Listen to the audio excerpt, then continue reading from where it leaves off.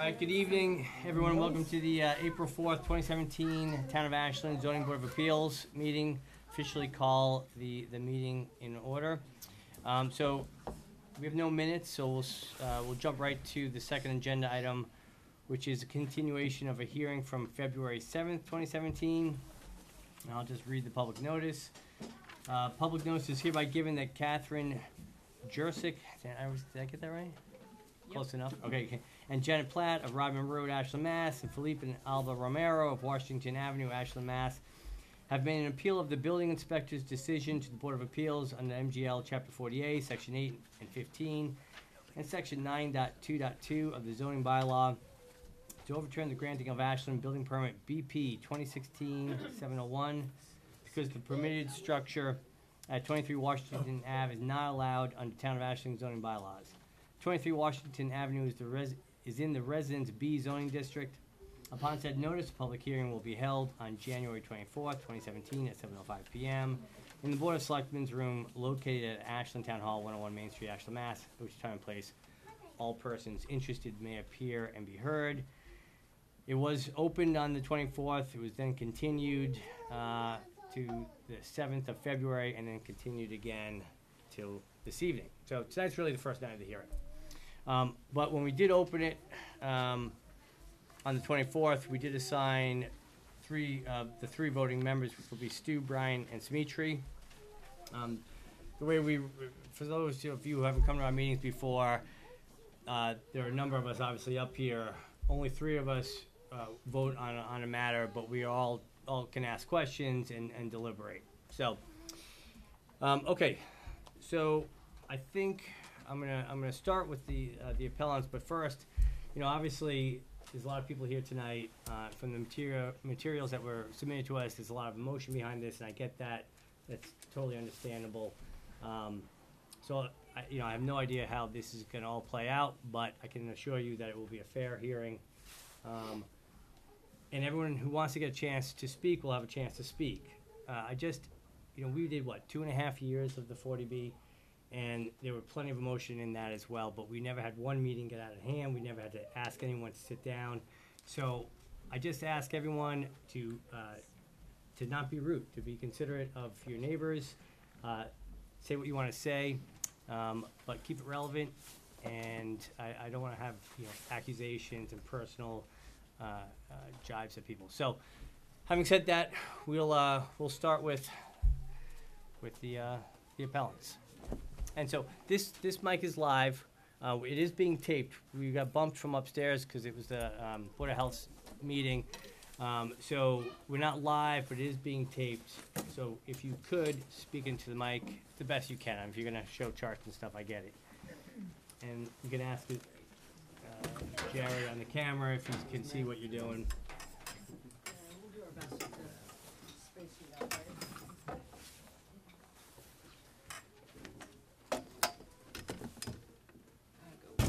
Go big. Go big.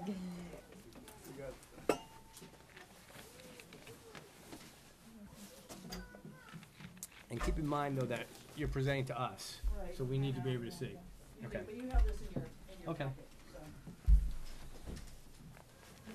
Do you want that over there?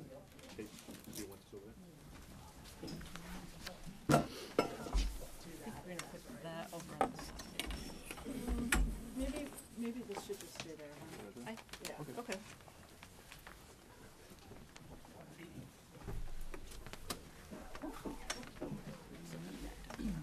Yeah, I can go there. All right, good Just, evening. uh, Just state your name Yep. and, and where you live to start.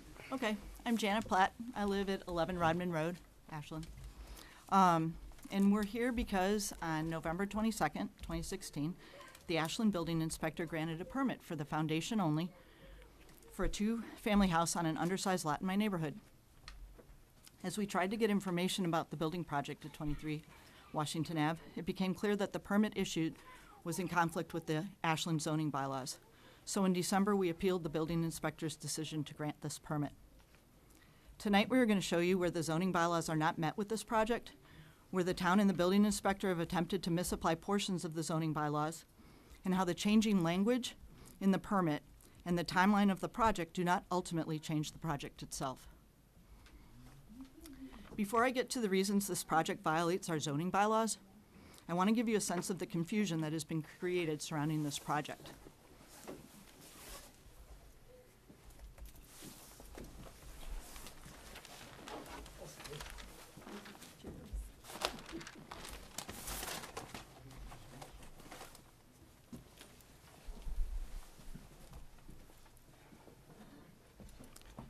So we're here to appeal the original permit. The original permit was for the foundation only for new construction of a two-family. As you can see from the email threads in our appeal and the flip chart, the more questions we asked about the basis for granting this permit, the more the reasoning changed. In fact, the building does comply with all zoning setbacks, as you can see from an email response we got on December 9th. That was the reason that the zoning, that, that we were told it met all zoning bylaws, because it meets the setbacks. It does meet the setbacks. This is actually in the packet, this is the original permit, and then I just wanna point out on the, um, so I don't know if I have to use the microphone or to. Uh, yes. to you? Yeah. Catherine Jerzik, eleven Rodman Road. So this is in, um, the appeal packet, but I just wanted to point out that it's a, a, uh, permit for foundation only for a two-family structure listed as new construction. And this is from the, uh, copied from the Town of Ashland website, or, or downloaded, I should say, more than copied. Um, now, this lists various permits at around the same time. Some say addition, some say alterations. If you look at the back of this, the, um, twenty-three, uh, building permit BP seven two zero one six seven zero one for twenty-three Washington is listed as new construction.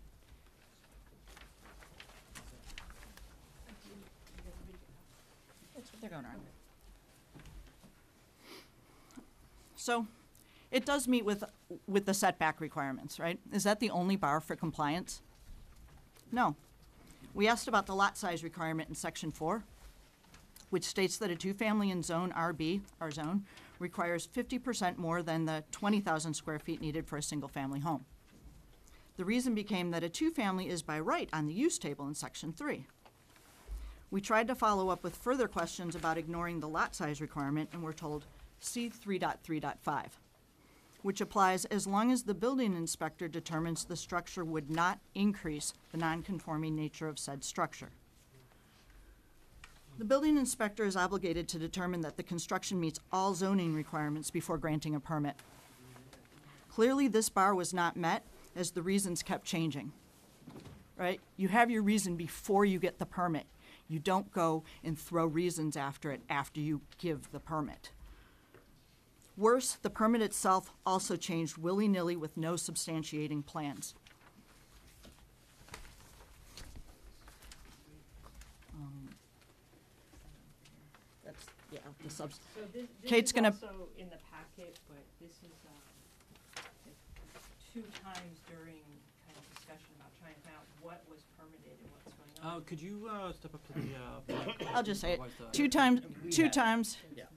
during the permitting process, what was being permitted changed. It, it could be more than that, but that's, I mean, you can only take so many screenshots in your free time outside of your full-time jobs. At this point, we submitted our appeal of the building inspector's decision, which is why we're here, to grant that permit for the foundation. The very day our appeal was submitted, December twenty-first, twenty sixteen, a stop work order was issued to the builder. I want to remind you why a two-family is not allowed at 23 Washington.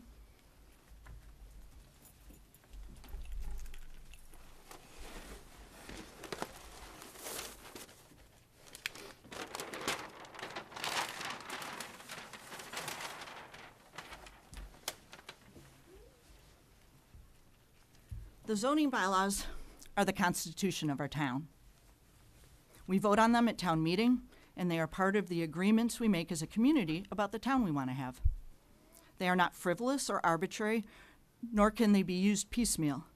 For example, a two-family is allowed by right in Zone RB. But that does not mean that a piece stands alone and all other requirements are voided or waived. It seems the building inspector might believe that. In section four, we see that in zone RB, the minimum lot size required for a two-family is hmm. thirty thousand square feet, as I previously mentioned. Twenty-three Washington has sixteen thousand two hundred square feet, which is smaller than the twenty thousand square feet required for a single family. But there's already a single family there, so we're not here about that. Basically, we have a non-conforming single family being replaced with a non-conforming two-family. And one of the reasons the building inspector gave is by right, which would mean he determined that the two-family replacing the single family would not be more non-conforming.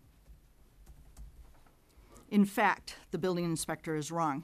In 2008, there was a similar case in the town of Norwell in which a builder wanted to reconstruct a single-family home and make it at least five times bigger.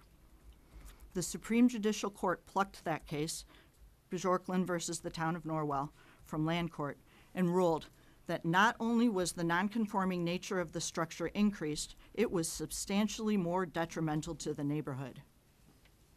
That case ruled that the nonconforming nature was increased and it was substantially more detrimental to the neighborhood.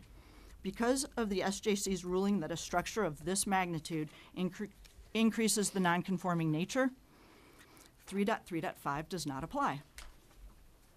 3.3.4 does. 3.3.4 says basically that a structure that would increase in nonconformity requires a variance. This structure will increase in nonconformity. It cannot be built according to our zoning bylaws. So again, a, a two-family does not fit our zoning requirements on the lot at 23 Washington Ave. Do I need to tell you why a two-family is not an addition, alteration, or reconstruction? Or, I mean, sorry, or, or extension?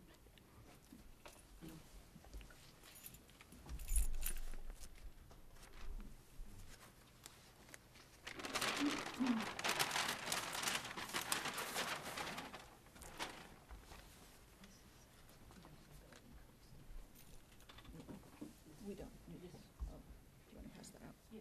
Okay. Um, constructing a two-family home on an undersized lot is not an addition. Calling it an addition makes no sense. For one thing, it's not attached to the existing home, so it's not actually being added to anything. It's just a building next to another building, which makes two buildings on one lot, and you know that is not allowed.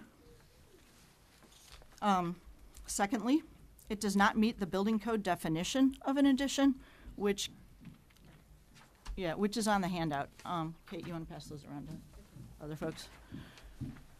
Um, the building code definition of an addition is an extension or increase in floor area or height of a building or structure. The floor area and height of the structure, we can look over there. The pink is the structure. The floor area and height of that is not changing. The floor area and height of the structure is sitting next to the building site while the construction occurs. Additionally, if you can pardon the pun, a permit that was approved on eleven twenty-two was for the foundation only for new construction of a two-family, not a permit for the foundation of an addition. If you look at the permit now, it does say addition, okay? But that's not what was approved on eleven twenty-two. That wording was added later, and it's unethical to change a permit for a different set of circumstances that are unsubstantiated. I also want to say that calling this construction an addition does not make it an addition. All right? Let me give you an analogy. You are looking at me. I am a human being. You could start calling me a chipmunk.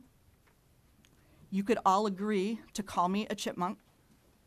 That would not make me a chipmunk. Calling this, calling this an addition does not make it an addition. No matter what we call it, it is not an addition.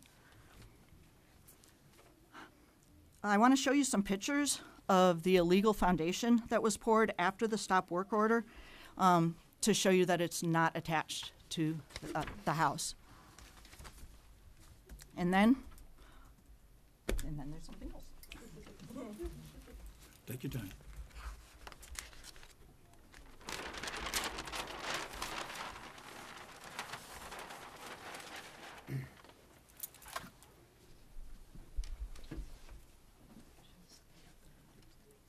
So, they, um, you can see the existing house, right? And you can see the foundation next to it.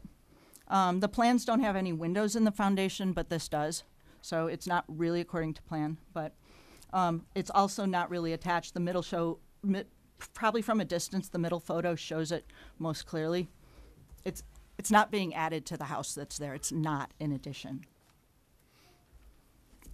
Um, next.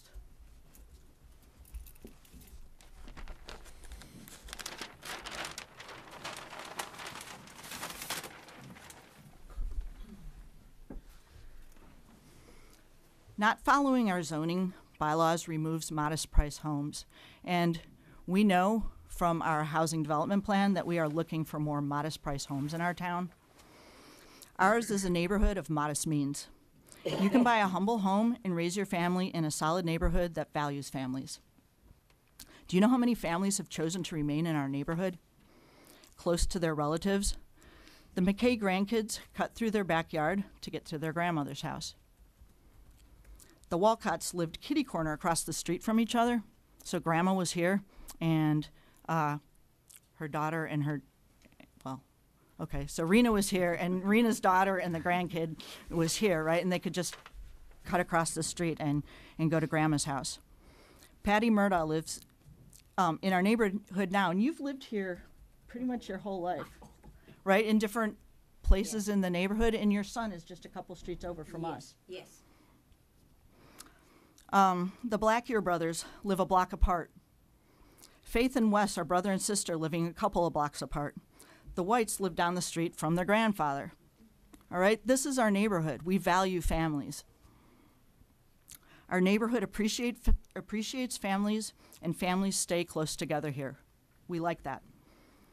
We are not interested in converting our housing stock from affordable homes to unaffordable mansions. It means that the future generations from our neighborhood will be priced out of the very neighborhood they grew up in. As homes are razed and replaced with things that they can no longer afford. The Polly family is certainly welcome in our neighborhood, and their family values are applauded and supported, really. And I- really mean that. What we are not supporting is forcing the neighborhood landscape to change. Look, look around our neighborhood. There are other properties available. If the goal is to keep families close, look right behind the lot we're questioning. There's a lot that is available there. The kids could share a backyard, and the families could be in adjacent lots. This is how our, this is how our neighborhood keeps families close together. But if the goal is to build a million dollar two family home, then maybe that's not our neighborhood. Maybe they need to find a property that can support that project.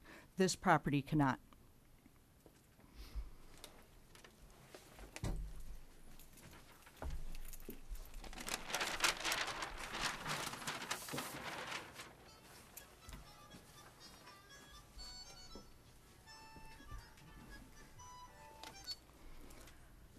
Okay, we already know a two-family is not allowed on an undersized lot, but, um, actually, I just want to give you an example of this. So the lot is sixteen thousand two hundred square feet, as you know. The existing home is thirteen hundred, basically. And the proposed two-family is seventy-eight hundred, not including the third floor and the basement. Um, I just want to give you a, a more tangible picture of that.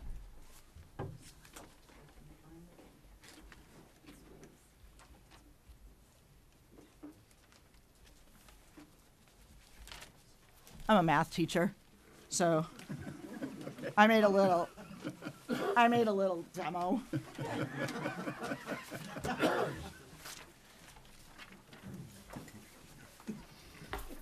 You have, you have a GIS map in front of you, and it's, um, it's kind of to, to the scale of the Legos. So, let's just do, wondering what we're looking at.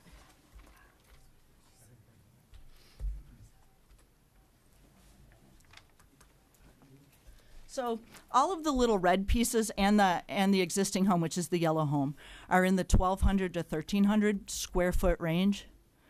The the Legos are a little limiting. There is no such thing as a four and a half dot piece, so I used a six dot piece.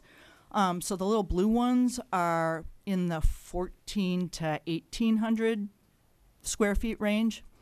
And then, you know, the double red one is obviously like double 1300. Okay? That is my neighborhood. And that's the home that's there now. I want to show you what the addition is. Jen, I don't, I don't wanna cut you off. But are we gonna get, Yeah. yeah, Yeah, I'm, I'm about to wrap up. okay, Okay? okay. Yeah, go ahead, go ahead. Okay? I just want to show you that this is not, I want to make it really clear. This is not an addition, okay? One, it's not an addition. And two, calling it an addition, making shady switches of things does not make it okay, all right? Um,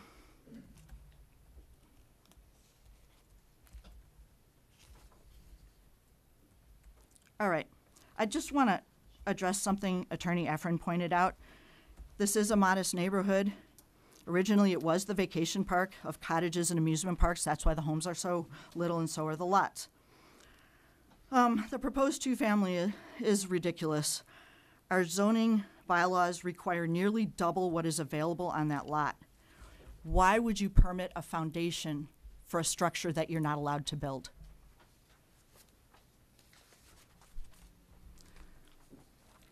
All right. In closing, the Polly family was unfortunately given bad information. And I really mean unfortunately, because now we're stuck.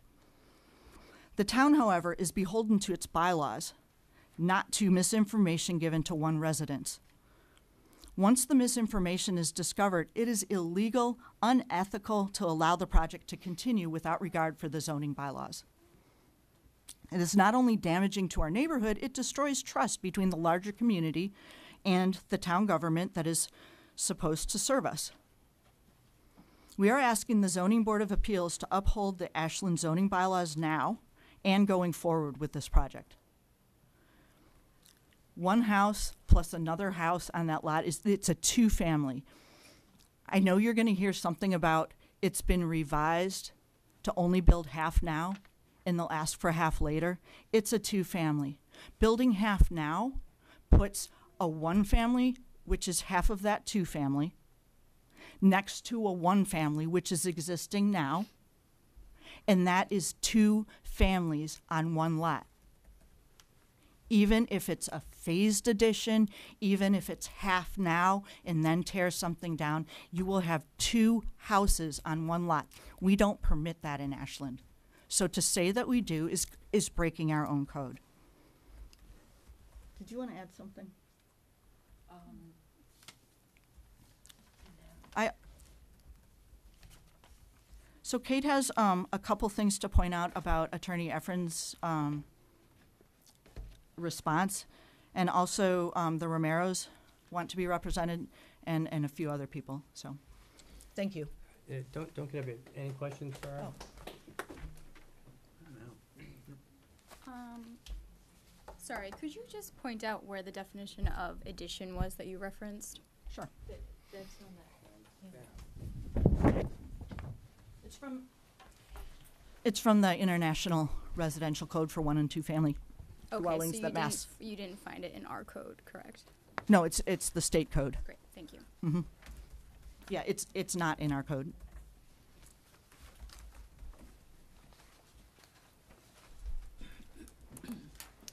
Um, I just, I just wanted to comment a few things, um, on Attorney Efron's letter about the case and, um, maybe some of them are entirely relevant, but we figured if an attorney thought they're relevant, that we should point out if we thought they were factual or not.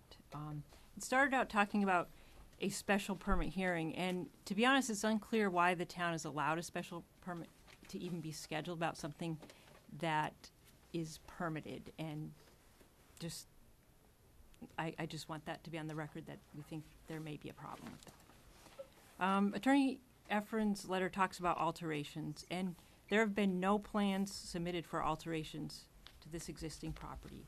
Instead, it's a permit submission shows a foundation for a two-family structure in place of an existing structure. And it's not an addition, it's not an alteration, and the town records about the permit prove that.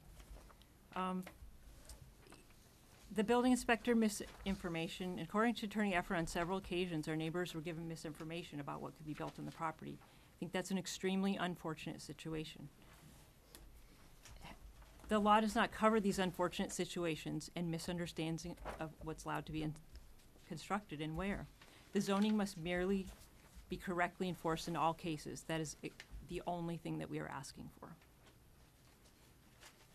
Attorney Efron correctly states that the existing structure is a legal, non-conforming structure.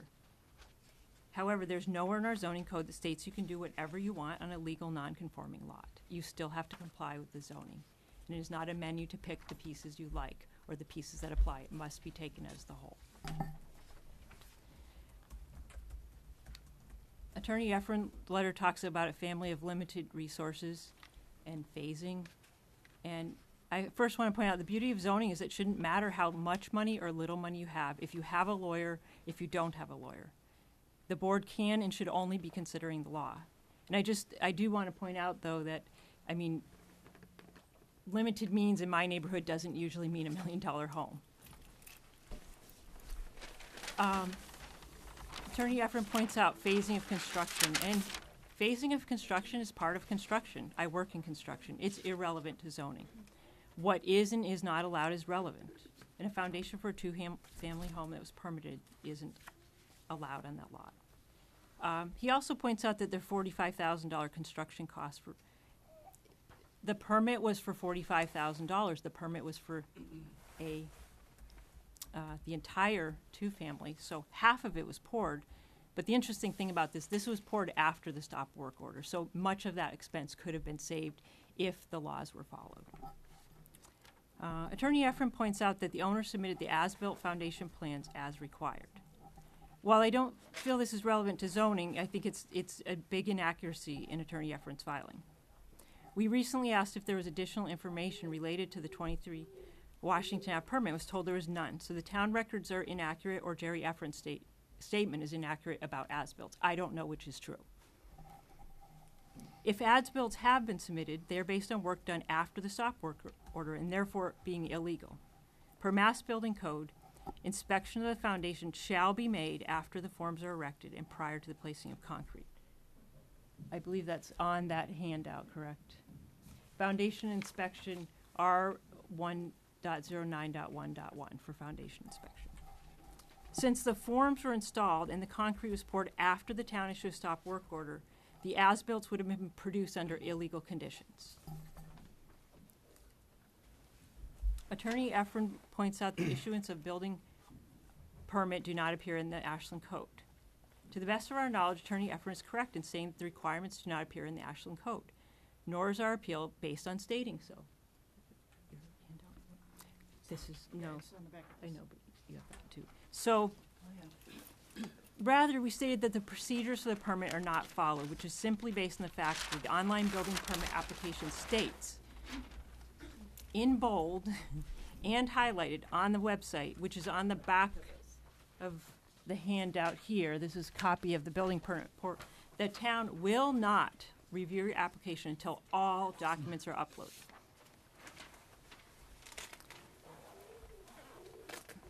Attorney Efron states the building inspector issuing permits certifies its compliance with zoning. We agree with Attorney Efron that by mass general law, the building inspector is obligated to verify a particular plan is in compliance with zoning as completely separate to com- considering building code items. So when the building inspector cited varying zoning rules as to why a two-family was allowed, the certification is suspect and voided.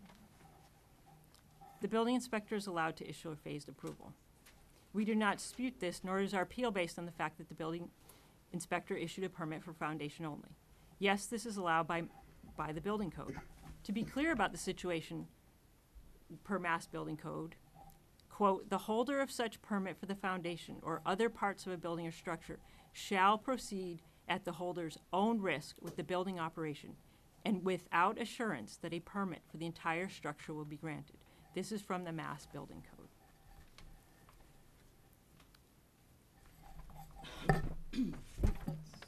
About it. so we have, uh, our neighbors.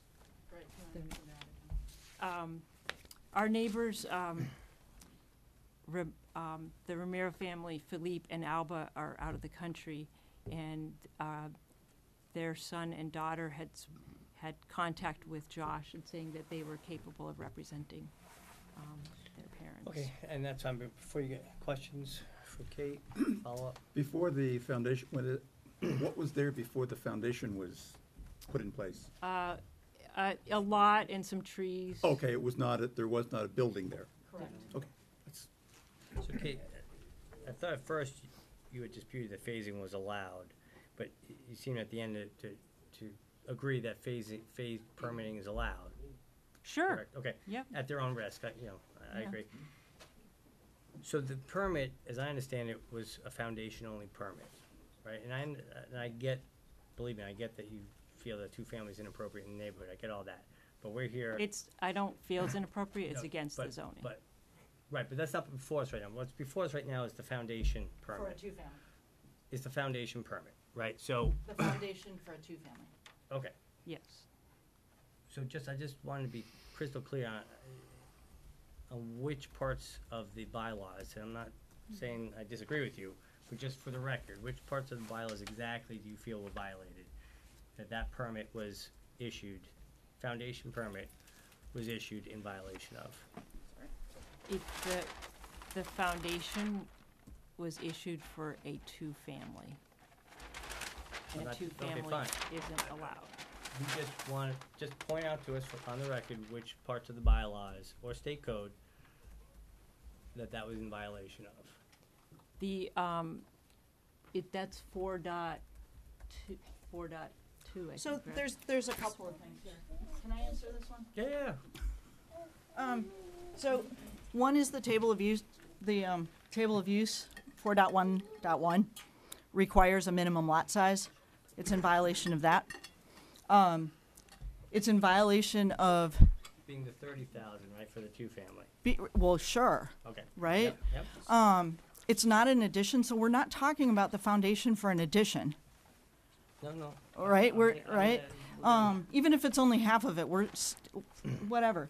Um, the other thing it's in violation of is the, the sheer size of it. So three dot three dot five is the part where the building inspector has discretion. Bjorklund is really clear on this, and you can pass the memo out to people. No, yeah, we Yeah. have it, Okay. yeah. No, but you can give it to other folks. Um, it, it's really clear. You can you can add a dormer, you can add a sunroom, right? Those are additions. If you are if you are building a huge home, it is not by right and it's not the building inspector's discretion. It needs a variance. So it because it's considered one more nonconforming. It makes the nonconforming structure more nonconforming. Okay? And two, because it makes it a structure that is more detrimental to the neighborhood. And they ruled that. And it wasn't land court that did that, and it wasn't it was the Supreme Ju- Judicial Court of Massachusetts. Right, so, so, So, three, three dot three dot five, right? four one one, And three dot three dot four is the is where they would have to go, okay, and right? just. Hold on one second. So three is use, And it's- Yeah, three is four is dimensional. No, I have that. requirements. Um, I was just looking at four dot one dot two dot three. Uh, excluding lots of thirty thousand square feet or greater, no single or two-family structure shall be greater than four thousand five hundred square feet. Excluding the basement, yada, yada, yada, without, uh, special permit of the, of the ZBA. I didn't hear you mention that one at all. Well, I d- the reason I didn't mention that one is because it it's actually doesn't matter at all in this case. Since so excluding lots of 30,000 square feet or greater, right? This is not that, Yeah? right? So, So if you've got a lot less, smaller than thirty thousand, right? I read this as you can't build a house over forty-five hundred square feet without a special permit. So I'm surprised you didn't bring that one up. Right, because that's true, but you still have to meet the other No, no, okay. lot size I requirement. just So, wanna, when I right, bring up Mike, so- I wanna ask him about those sections. right, so here's, here's the problem, right? That, that is a reading that says it can't be bigger than forty-five thousand square, forty-five hundred square feet, oh my God, right? Um, it can't be bigger than forty-five hundred square feet. But you still have to meet the lot size requirement. It doesn't say, oh, you know, if I'm you not- can't I'm meet. not disputing that. We're- Right, right, right, but that's yeah. why I didn't bring it Yeah. up, because there's no reason to go there, because it doesn't meet the other thing. Okay. Okay, All right, Thank you. other questions for them before we bring the Romeros up? Okay, thank you. thanks. So the way, so we're gonna have, hear from, um, the Romero family, then I'm gonna talk to Mike, we'll, we'll ask Mike some questions, and then give, um, Attorney Efron a chance, and then we'll open it up typically to everyone after that. So my name is Paula Dunbar. I'm actually representing um, my parents, Alba and Felipe Romero, who unfortunately are not here right now. Um, I guess Kate and Janet talked a lot about the rules and regulations, which is awesome. My parents will be really impacted because we live right next door. Um, this, it looks beautiful. It look, our neighborhood is a small community. Um, I don't, I just don't understand how the building inspector could have gone ahead and come to the neighborhood and said, yes, let's build this huge house when all the houses around us are not as big as that. Um, building this large house not only will affect our home by letting the sunlight in. I've taken pictures of beautiful sunrise that I see out outside the window, and if you, I mean, if you see the lot behind here, um, we'll never see the sun coming down the, up the window and everything. Um, sorry, I don't, I don't, this is my first meeting ever like this, so. Doing great. Forget there's anybody back there. Um, so, you know, I know Attorney Efron also brought a lot of the, um, you know, we know this family immigrated um, from the Maldives, I think, and Mal- and you know they're a hardworking family. But I think everyone here has a story. My parents have a story. They, you know, immigrated here from Guatemala 39 years ago. Um, we grew up in housing. 18 years ago, 17 years ago, they finally were able to afford a house. Loved the Ashland community. Loved the neighborhood feel. Do you know what I mean? Bringing, you know, I feel like we all know each other. We walk down the street and say hi, and that doesn't have anything to do with this, but you know, bringing this, it, I think it's going to detach the whole neighborhood feel of it. It's not going to be, um, I don't know how to explain the, um, it's it's just not going to feel like the close community when you have this big, true family house sitting right next to the door, next to the lot, next to my parents' lot. Um, it's not. Oh God, I don't know how to. it it just doesn't feel right. They could have gone anywhere else, you know, to, you know, we don't have a mansions in the neighborhood or anything. Um, I did take pictures of the beautiful sunrise that I get right now, because I do live with my parents. I, I am raising two kids here in Ashland. We love the Ashland community. Um, so I just don't want to see this in our neighborhood. I want them to follow the rules. The whole addition thing, again, trying to explain this in Spanish to my parents was hard, but um, the whole addition thing to us is building an addition. I mean, my parents have, you know, built a little, a bigger um, kitchen than what it was when we, they bought the place, and we followed all the rules and regulations, and we're just asking for everybody to follow the rules and regulations with this. Um, I don't know if my brother has anything I'll say a little, little something. thing to add. I don't know if you guys want to see my beautiful sunrise pictures. um,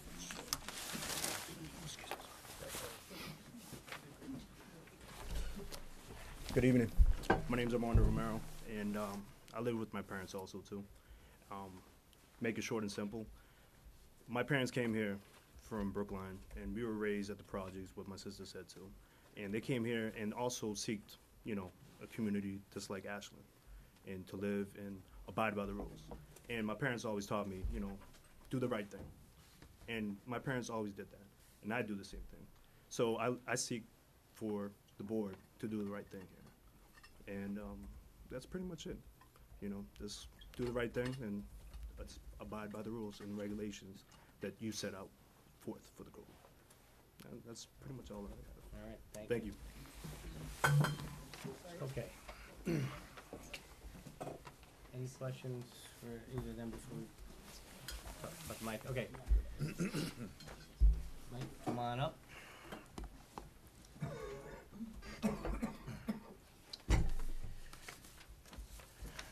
I know I know it, but could you state your name and your position? and- Yeah, uh, Mike Christopher, building commissioner, town of Ashland. Okay. And I know this is not, pro- probably not where you wanna be tonight, but, you know, we're not attacking you, we just wanna make sure that, you know, all the rules were followed. So, can you just explain, you know, what your thinking was behind issuing that permit? Okay, when the Palleys came to me, they basically, you know, said, look, we have this lot, we have this small house that doesn't accommodate our family. What can we do? So we sat down, looked through the bylaws, and looked for a way to help them, okay? And I found three point five point, I think it's five. Yep. Okay, which, you know, gives me the discretion. So I said, okay, bring me some plans, show me what you wanna do, all right? So, in essence, you know, they wanted to build what you see there, mm-hmm. okay? Come to find out, when you do the, say, math and you look at, say, square footage, it didn't make the forty-five hundred, so I said, okay, I'll tell you what, I'll give you a foundation permit for half of it now, okay, to attach to your existing house. And because they, they told me also they couldn't afford to do it all at once. So I said, okay, you have phased construction that works in the building code, and that's allowable. So I said, okay, I'll work with you. I'll give you a foundation permit, but you gotta come back with an as-built showing me that you followed the setbacks and everything, uh, to the, you know, to the bylaw. And I said, but then they came back with some other plans that didn't quite And meet the square footage, Just, so. so when you said, yeah, come back with an as-built, complying with the forty-five hundred square foot, Complying with the setbacks, just the setbacks? the setbacks at the Okay. time. Okay, Now, you know, you could, I could say, okay, I can give you one story, you know, to fit the criteria. You need to fit the three criteria in the bylaw. So, and in your um, mind, which criteria were those, the three criteria? uh, to fit the setbacks, Yeah, to fit the, you know, the under, the undersized lot gets waived because it fits the setbacks, and it's allowed by that three point five point five. So, basically what he did is, is it gave them a foundation for whether it be a one-story, you know, or even a one-story with a small two-story addition, whatever, as long as it met the forty, forty-five hundred square foot in the end result. okay, so you were saying, come back to me with a revised plan Right. that meets the forty-five hundred square feet, okay. So, in the process, okay, they had their other plans made, okay, so I uploaded those to the system, you know, because that's what they provided with me. Mm-hmm. But they knew that they were gonna come back and fit the criteria, and I was still in waiting for that. And I told them, I said I would not give them a building permit for the structure until I got to that point. Okay. Have you seen that revised plan yet? Yes, Oh, there is a revised plan, it's the mm-hmm. forty-five, okay. yes, Is that with us this evening, or? No. Okay, Not exactly. Not exactly. Ni- plan, but that's the yeah. special permit. Yeah. 5100. right. I have seen them, yes, there's a but I have not been okay, submitted Okay, yet, but your directive was come back with a plan that hits the forty-five hundred, yes. and then, okay. Um, other questions, guys?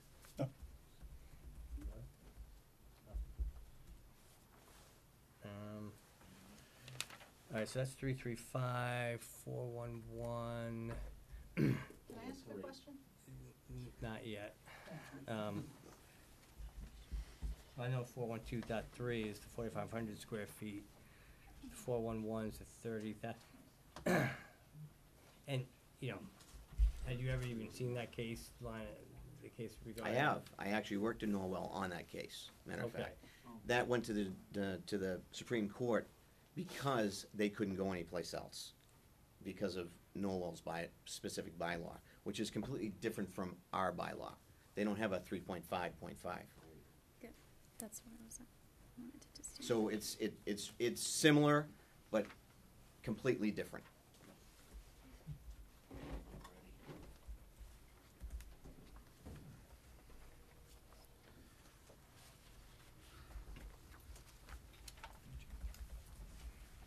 So they don't have a three, three, five A.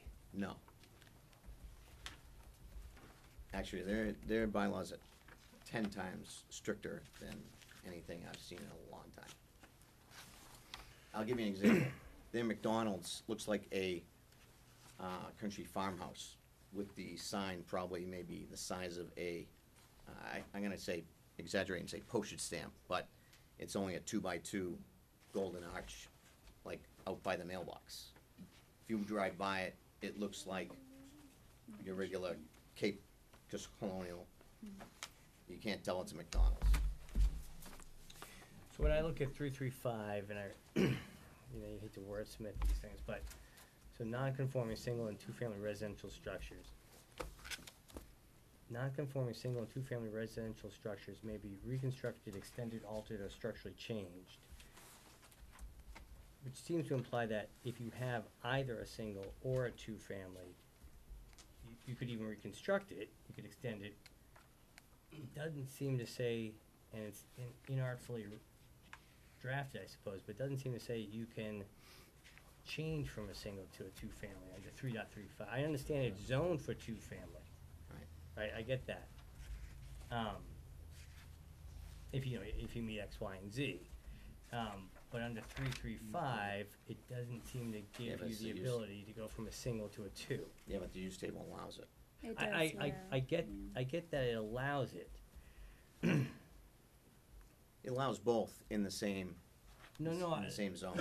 So whether you have a single family or a two-family, you could downsize to a single, you could upsize to a two. It's all by right in that zone. If it was an RA zone, oh, no, you that can't part do that. But you can do an in-law suite in an RA zone, eight hundred square feet, and, and bring your family, your second family in. And that's allowable by special permit.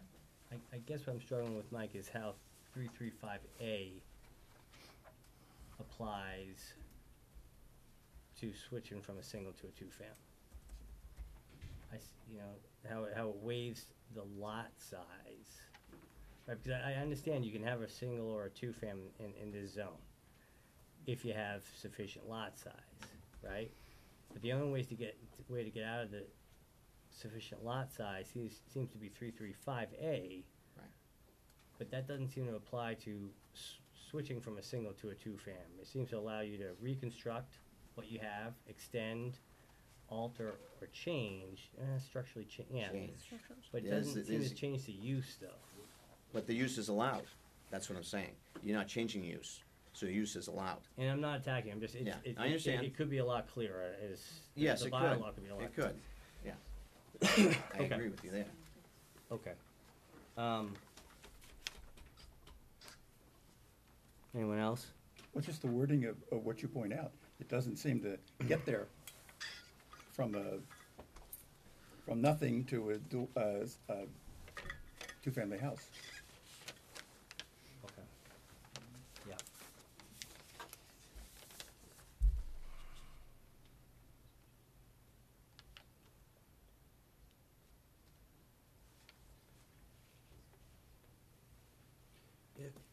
If anybody, um, I have the uh, bylaws, um, if anybody wants a copy.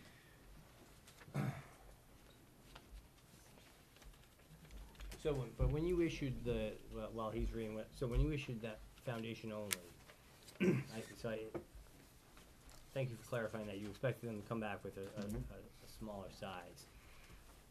But you still issued Square it- footage wise, Square footage, but you still issued it in anticipation with two-family. yes. Okay. I was confident enough that it fit the setbacks, Fit the setback. and that was what I discussed with them. Yeah. And, and I appreciate, you know, I actually appreciate someone in town who wants to work with people and help them. We may not rule with you on this one, you know, but I appreciate the effort, wh- whichever way this goes. That's my job, I'm a public servant. No, yeah, yeah, so, um, you wanna follow up? You work for the whole town. Uh, uh, Yes, but I help everybody We're gonna just go, we're gonna go through the board. Um, So I'm, I'm not clear on it either, if, it- I'm not too up on this stuff, but if there's sixteen thousand square feet and you need the twenty thousand for addition plus fifty percent to go to two-family, doesn't that bring in the thirty thousand? Not exactly, no, because the three point five kinda opens it up for you to, for that discretion to be there, to be able to make that discretion, okay? Does it fit the setbacks, is it less detrimental to the neighborhood? And that was my decision. There's a carve out for undersized lots in A. Yeah. Yeah. As long as you meet everything else, But that's a fourteen thousand square foot difference, right, roughly? No, because only twenty thousand is required, not It's thirty. not- It's not thirty? Oh, I think it's, I think it's thirty on this one. Thirty in I the, thought- R- thirty, thirty for two family, unless, as we will talk about, it's prior non-conforming. Right, Oh, we'll, we'll get to Mr. Efron's. But 30. Yeah, Thirty, it's thirty, right, yeah. okay. Thirty. yeah. So that, all right. So that's a big, um, change. Okay. But let me make an example.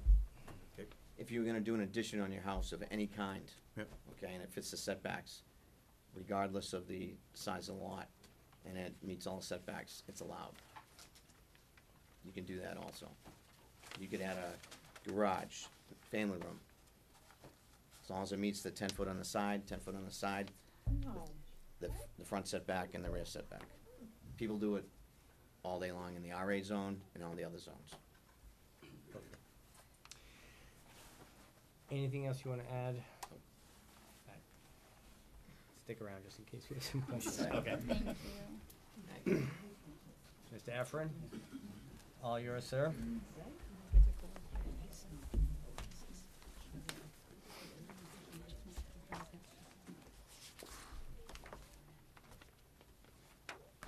Good evening. For the record, my name is Jerry Efron. I'm an attorney with offices at 25 West Union Street.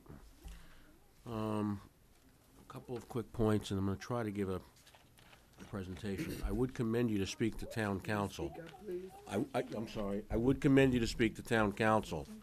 I've spoken to him, and I've gone over my memorandum with him in detail. I know he would be willing to speak with you about the legal issues that I raised. Spoken with Adam today. Um, this is only a zoning appeal on the building permit, as I think has been pointed out. To the extent that the uh, petitioners are raising good faith discussions about impact, about appropriateness, that's for the next hearing.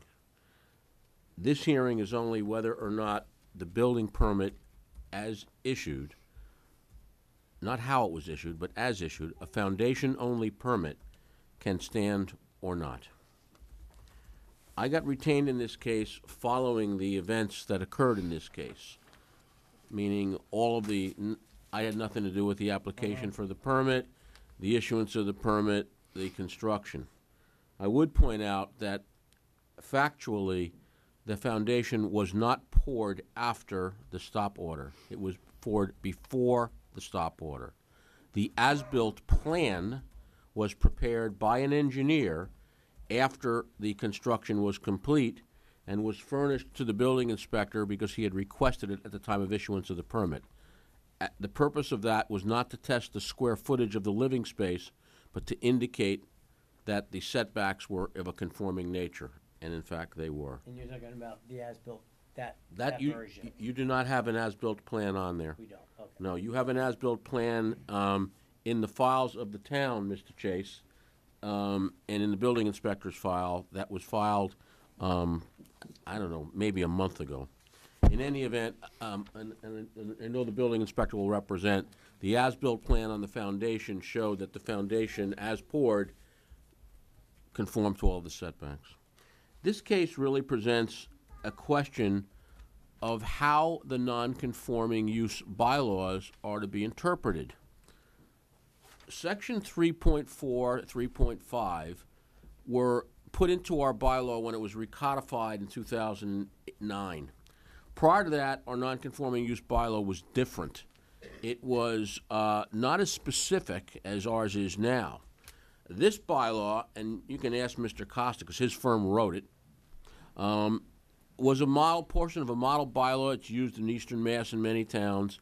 And 3.5 appears, or versions of it appears in just about every surrounding community here. It's designed to recognize a more liberal attitude toward expansions of prior nonconforming structures on small lots that are used for either single or two-family residential purposes. There's a much higher standard for non-residential alterations of non-conforming structures. Why is that? Because, because the legislature at the state level and the communities realize that there's a public interest actually in allowing people in neighborhoods like the Waushakum Pond neighborhood to expand their homes so they can grow with their growing families and to allow them to keep those homes of moderate size and modest price as opposed to having to relocate either within or without the town to something much more expensive. By the way, the two family house that's being proposed now is not going to be worth anywhere near $1 million. Uh, I- I'm sure they would happily build and sell that for that money for just about anyone, um, but that's, that's really not going to happen. With respect to the, the non-conforming use bylaw here, it is incorrect, as you heard from one of the petitioners, that you cannot look at this bylaw in a piecemeal basis. You have to look at the bylaw harmoniously. The non-conforming use aspect of the bylaw applies to those structures or lots that fit that criteria. This is a non-conforming lot, having been basically put onto a plan well before zoning with a house that was built well before zoning. There's, and they, and they've conceded that. The, once you have a valid non-conforming lot or structure, then this bylaw is allowed to be utilized, providing that you fit the criteria. By definition, by definition, the fact that it is non-conforming means that you do, you do not go simply to the dimensional requirements and say, well, you can't use it if it's not a thirty thousand square foot lot. Otherwise, the bylaw would make no sense.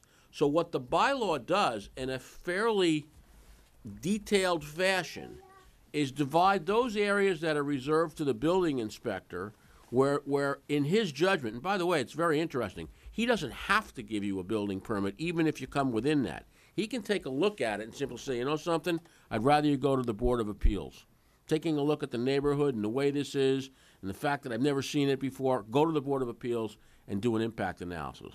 But, so he has the discretion under that, under that particular bylaw, if it meets the setback requirements under the A section of the bylaw, okay, to, to give a building permit for the complete construction if you don't violate any other portion of the bylaw. Here, as, as the chair pointed out in, in, in response to some questions, and as the building inspector indicated, you also have to go to the dimensional table to see what the square footage is. Now, what is the logic in that? The logic is that the larger the overall structure, the more likely it is to raise an impact consideration that should be dealt with in a hearing before the Board of Appeals, as opposed to simply the limited aspect of non-reviewable building inspector's orders. So what happened in this case? What happened in this case was after I met with the clients and met with their architect who was here and talked to the engineer and talked to the clients about what they could live with. And the clients, I should tell you, are uh, Sergey and Sergu and Vlad Pally, brothers, and their wives, both named Christina, and their kids. Okay? Two separate related families who emigrated here together, and as the building inspector indicated, approached them actually before they bought the house and said, Is this something we can do? And they said, Yeah, provided you do X. Well, it turns out that their initial plans didn't conform to X. They didn't conform to X because the, the as as indicated, I believe, and the petitioner indicated in one of the charts, the square footage clearly was such that the building inspector did not have the authority, okay, under 3.413 to grant that building permit, even if the end use conformed to all setbacks. He simply couldn't do it. So Do you mean four one two three? Yes, one two three. I'm sorry, you- the numbering here will drive you nuts. Um, that is correct. And so when I took a look at this thing, I basically gave the advice that was adhered to. I said, look, we'll deal with the appeal because we don't have a choice. It's before us. Let's file an application for special permit. Let's file it- an application for special permit under four one two three because although we meet all of the other criteria, we do not meet that criteria. Shrink the house, which they did, get rid of some space, which they have done, make it more reasonable, which they have done, and they filed plans uh, with uh, Mr. Chase that, that are the foundation of a special permit application that is scheduled for next week. At next week's hearing, we will be able to make our showing relative to impact. You will hear responses saying that the impact is unreasonable and the decision will basically be, be upon you. Getting back to the, to the issue of how the non-conforming use thing fits in here as an overlay, again, non valid non-conforming uses are an exception to the zoning bylaw. They allow for dimensional nonconformity, and they allow things to happen for change, alteration, and so forth. The words change, alteration, and modification are not limited to something that basically is a quote addition. This whole argument that there was a, a, a mis, misnaming on the application, it was it was filed with the news and filed with the addition. It doesn't mean anything. It's form over substance. They either meet the criteria for this alteration and change, or they don't. If they don't, they can't get a building permit and they can't get a special permit. If they do, and they are within all the confines, they are eligible for a building permit. If they exceed one of them, they need to come here for a special permit. That is the situation we are in.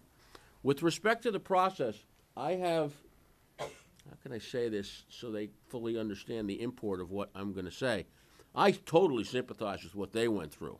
It was gross, okay?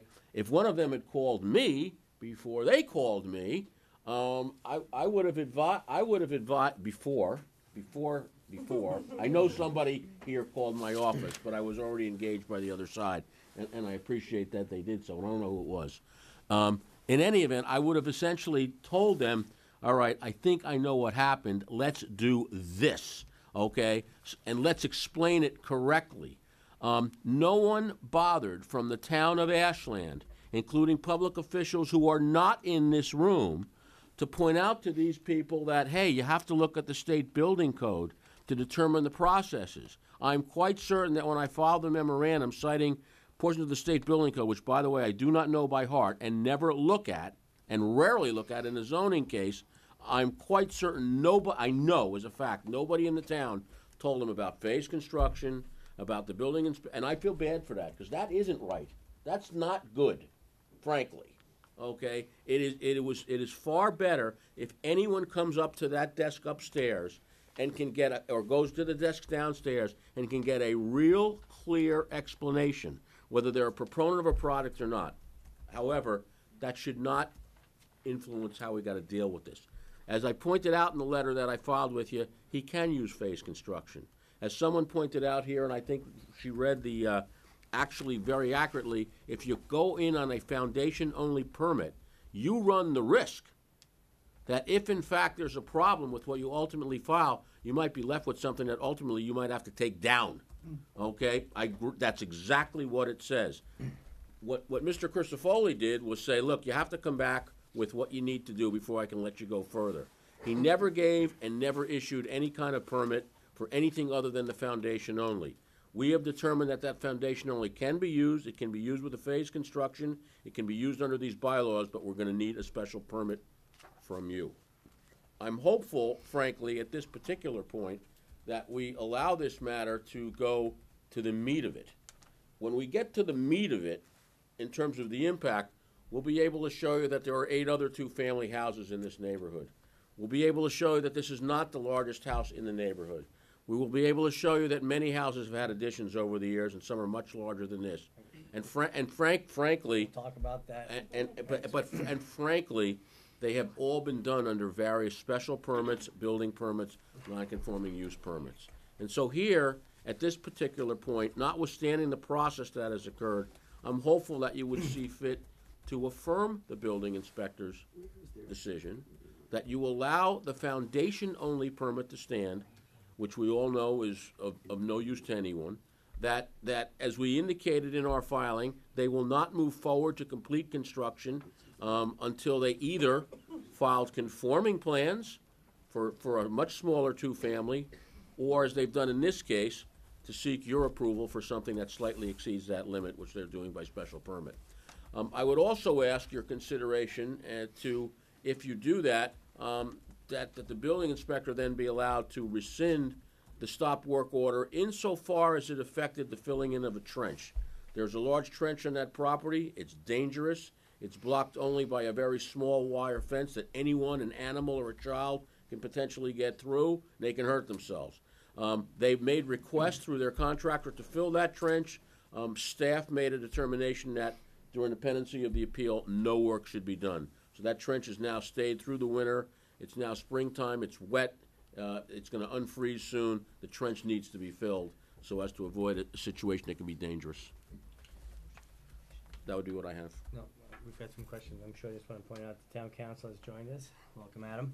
Um, so, I mean, you sort of admit that the building, that the foundation permit is of no use. I didn't say that. You just did. No, I- wrote it down.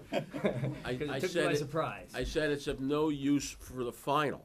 In other words, why, It why? doesn't do any good if you don't get. That's That's right. right. Okay, So why but do we you can do, care? we can do, a- because we can do a couple things on it. If you deny that thing, we can come back with a plan to build upon it. That would be conforming.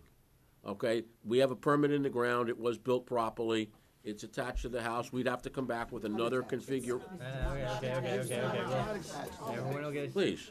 I, I, I wouldn't do that. Please Okay, don't do okay. that to me. So, they, c- they would have the option, unfortunately, if you decide to reject their ultimate relief, of having to deal with what's in the ground and deal with it, and see if they could file something conforming. I don't, I don't think, and remember, foundation-only permits, whether we think that's a good idea or not, are explicitly allowed by the building code. They must be in there for a reason. The reason is that they con, that they allow this stage in the building permit process to have a foundation-only permit, as long as it's followed by something that you can put it on.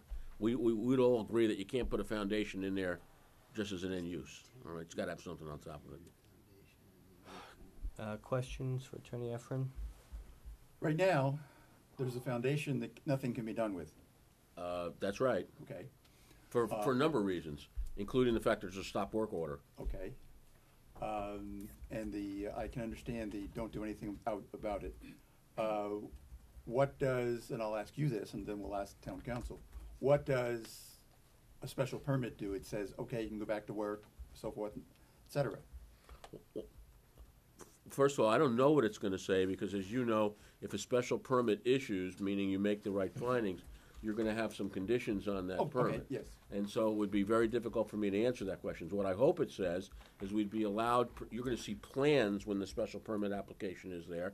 We would hope it would allow them to complete construction according to the filed plans, which makes use of that foundation. Well, Right now, uh, what does affirming the building commissioner's decision to stop, what does that do? I'm sorry, I missed it. I mean, I was right go back the the other way. Uh, uh, affirm his original permit. It'll, it'll simply allows that permit to stand, so we don't have to start over. Okay. All right, so it's very, I, if you, if you read what I wrote, I think the last word I put in my first paragraph, a dangerous word for a lawyer is moot. Okay, and what I meant to say is, please, most respectfully, don't try to get hung up on tonight's hearing, because we agree with the petitioners, essentially, that we need to come back and ask you for relief by a special permit. That's what I said. I'm assuming you're not submitting a plan next week that has no basement. So whether we approve this or not, y- your, your plan's gonna have a foundation, correct? next That is week? correct. Yeah, okay. Other questions? Yeah, what, what, uh, what was the date of the stop work order and what was the date of the, uh, foundation pour?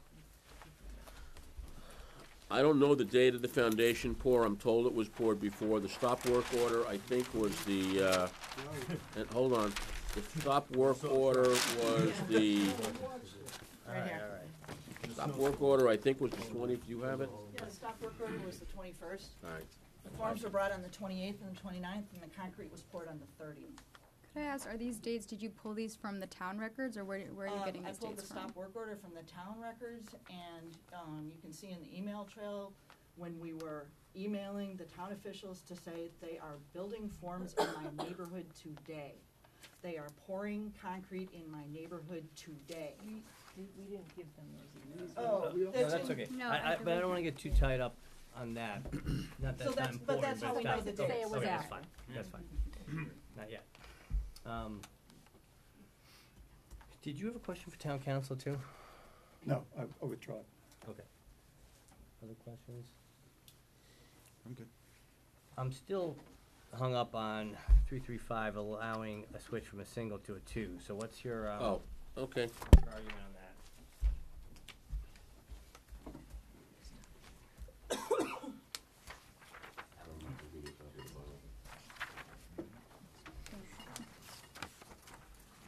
Again, you have to use these things harmoniously, not piecemeal. Um, you'll note in there that as of right, as of right in this district, you can convert from a single to a f- two, that's my argument. Yeah, we understand that. I think what the chairman is trying to say is why are you going through a special permit if it's already, special permit is conditioned in the use regulations, and it doesn't say special permit for this particular use. It says it's Correct, but allowed, I'm, my why- special permit next week is not for use. My special permit next week is for a dimensional nonconformity with the living space under four point three one two. Great, that's So what I that, wanted so on they're two separate inquiries. My answer, Mr. Chairman and, and Smitri, is that I, I, I can do this for use, but just because you can do something for use doesn't answer all the questions. You still have to deal with the other portion of the bylaw. In this particular case, because the ultimate living space exceeds forty-five hundred square feet, I've got to use the section of the bylaw that, that makes me come here for a special I permit. guess I'll run it That's how, you. that- that's how they work, that's how they work together, in my opinion. Yeah, okay, so, so Adam, I guess what's confusing me on this is, I get that you can have a two-family, but that's obvious, right? Um, but three-three-five seems to be a safe harbor for non-conforming structures to make additions, expansions on, non- on non-conforming structures, right? But it doesn't, I, I don't read it to allow you to, to change the use, just to expand what you have, reconstruct, expand, or alter what you have. I don't know if you can read those two just, just because it's zoned for a two-family, I don't see how that, that gets you into the safe harbor of three-three-five, of expanding, uh, of switching from a single to a, a two. But maybe I'm being harsh, what, what, what do you think? So I think that it does with a special permit. The challenge here is. Special permit for the use itself? No, a special permit for the nonconformity. Okay, So the, the challenge here is that you've got more stringent dimensional requirements that apply to two-family structures than Mhm. what apply to single-family structures. So, and y- you've got a number of moving parts in this particular instance. Usually, the typical nonconformity that comes to your building inspector or to your board is a pre-existing non-conforming structure and the applicant is seeking to add a back deck or expand their living room by ten or Mhm. twelve feet. And so you apply the standard that you're familiar with, substantially more detrimental to the neighborhood than the existing nonconformity or not. And based upon that, you either grant or deny the special permit. In this circumstance, you've got a pre-existing non-conforming single-family structure. Certainly under three point three point five, modifications can be made to that structure. And some of those modifications can be allowed by your building inspector within his discretion. And others, if the change is deemed to be uh, an increase in the non-conforming nature of that structure, come to this board for review. In this instance, you've got exactly that, an increase in the non-conforming nature of the structure, because in converting it to, from a single family, which isn't allowed use in the district, to a two-family, which isn't allowed use in the district, you're implicating provisions of zoning that are more stringent as applied to two families than single families. So the structure is already non-conforming because it's on an undersized lot. By converting that structure to a two-family, now you're, you're exacerbating that non-conformity because two families require even greater lot size. And yet the lot is the lot is the lot. You're not changing the lot size. but he's not arguing that he's coming before us next week for a special permit. For that reason, it's just the forty-five, it's, it's exceeding the forty-five hundred square feet. Not that he's expanding the non-conforming nature on the three-three-five. I don't agree with, I, I actually, both of you are correct, but once you come before here, you can consider anything you want an impact, anything, okay? So, once you get it, what, what he's saying is, once it's out of the building, and he can say it for himself, once you're out of the building inspector's discretion, and you're here on an impact not substantially detrimental, then all factors are before you, including but limit, not limited to the fact that I have a sixteen thousand two hundred square foot lot, where the zoning bylaw says, in most instances, if I was doing this as new construction, and I had no nonconformity, I gotta go thirty. So what do you do with that? Well, in a perfect situation, if I was the only sixteen thousand two hundred square foot lot, and on either side of me were no homes within a mile, you'd probably say there's no impact. That's an extreme. But it doesn't mean I'm not eligible for the relief. It's my burden to convince you that I'm, that I can get the relief, but I think I'm eligible. Eligible means I get the right to get it, get up and I, I think what Adam's saying, I'm agreeing with him, is that when you apply next week, it needs to be on, for the forty-five hundred square feet, but it also needs to be under three three five. And it is, if you read my application. Okay, okay, I haven't seen it yet. Yeah, I know that. Uh, i- uh, sorry, if I can, um, uh, suggest, uh, uh, pulling the, uh, microphones, uh, closer. Um, and, uh, for Adam, I, I, As far as it gets. I'm not, I'm not sure I will, um, I So will be able then-. If you agree that you need a special permit under three three five, I'm having a hard time getting to the foundation permit. Because why didn't you need a special permit for the foundation permit? I, I need a special permit because three three five is a, is a bylaw that deals with the permanent use of something, okay? So I have a foundation permit, I like to use it, and I don't wanna lose, and, and here's the issue, I I, I answered it before. because you have it doesn't mean you should have Well, gotten well, hold on for a you sec, know? ho- hold on, hold, uh, Go ahead. I answered the question when it was asked before. If that relief is denied, okay, and they do not want to pursue a review of that relief, or the relief is granted and someone else pursues a review of that, uh, a, a challenge to that relief, one of the other options is to see if that permit, if that foundation can be utilized for something else. And I think it has some potential value. It's in place. I don't want to talk about whether it's attached or not attached. It's, No, I- I- it's I proximate don't to the house. disagree. It- Right, I mean, they could build a single family on that and you'd be fine. Right.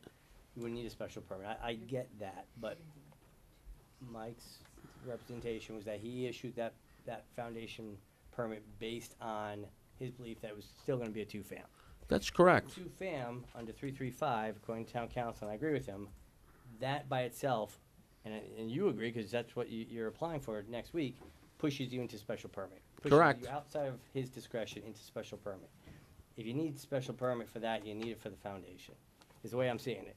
Now, having said all that, I don't think it's gonna affect anything, because you're coming before us next week, and you're not gonna build a house without a foundation.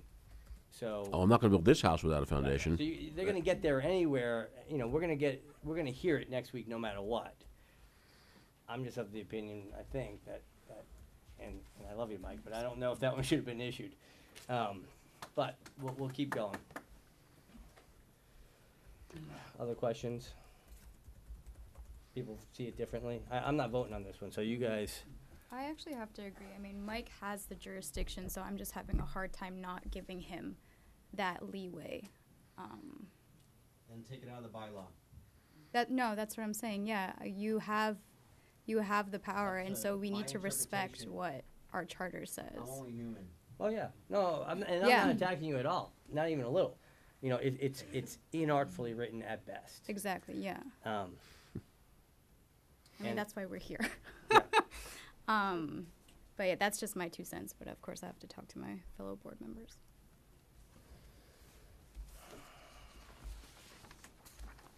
Sue, Greg?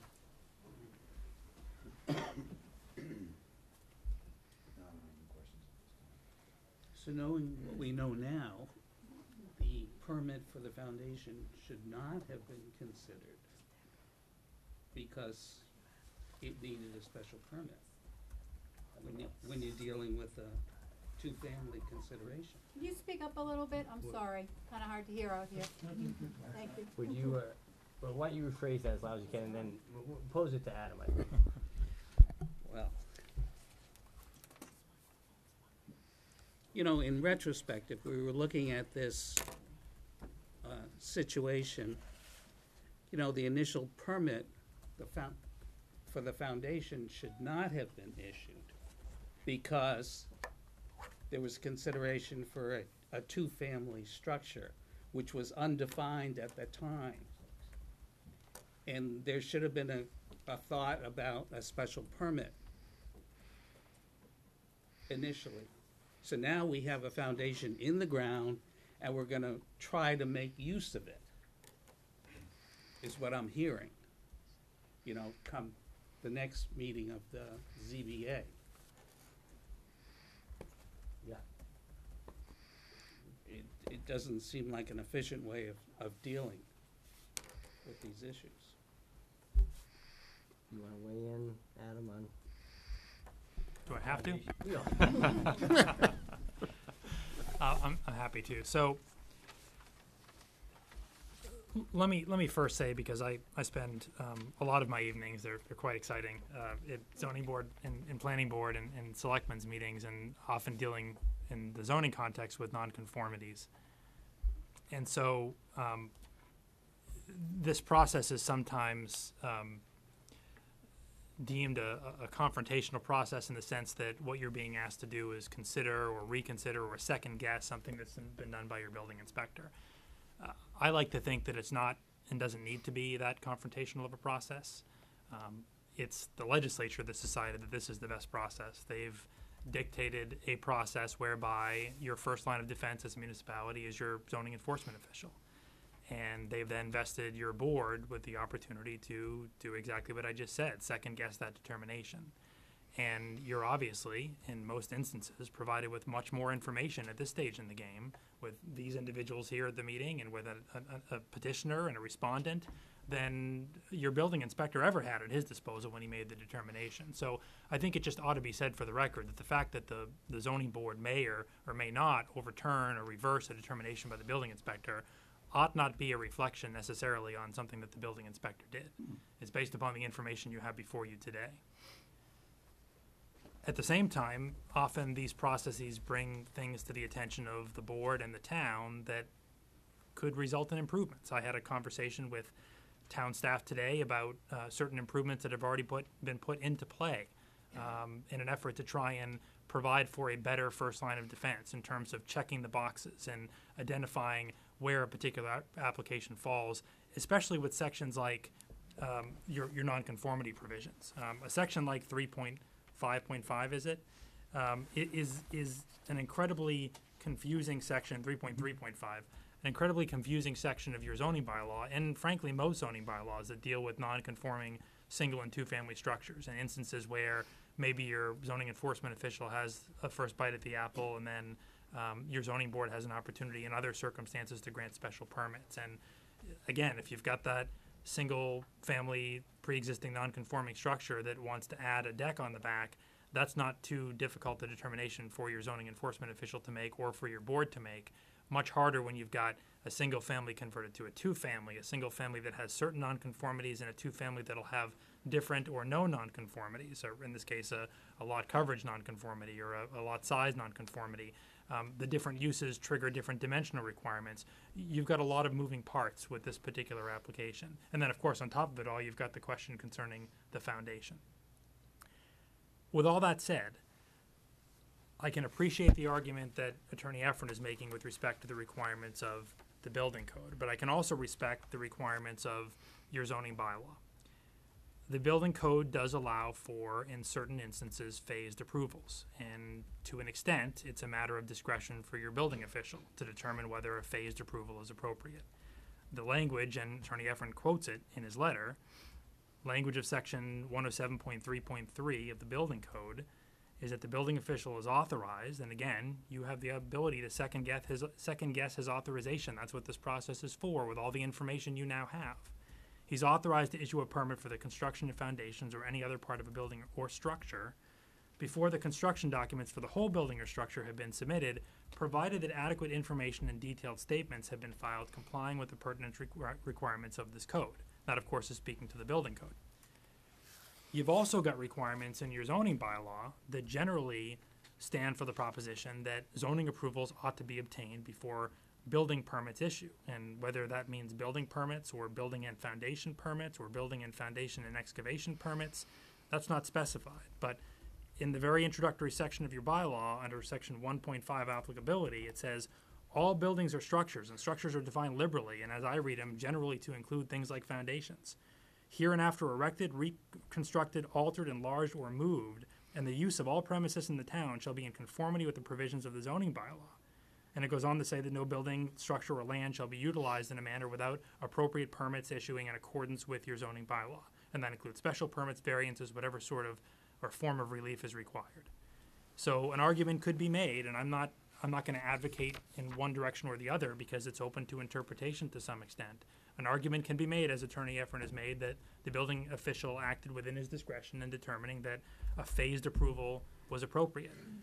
On the flip side, an argument can be made that per the explicit language of your zoning bylaw, before a proposal is put forth for what is obviously, based upon the plans that I've seen, going to be a two-family residence for which zoning relief is required.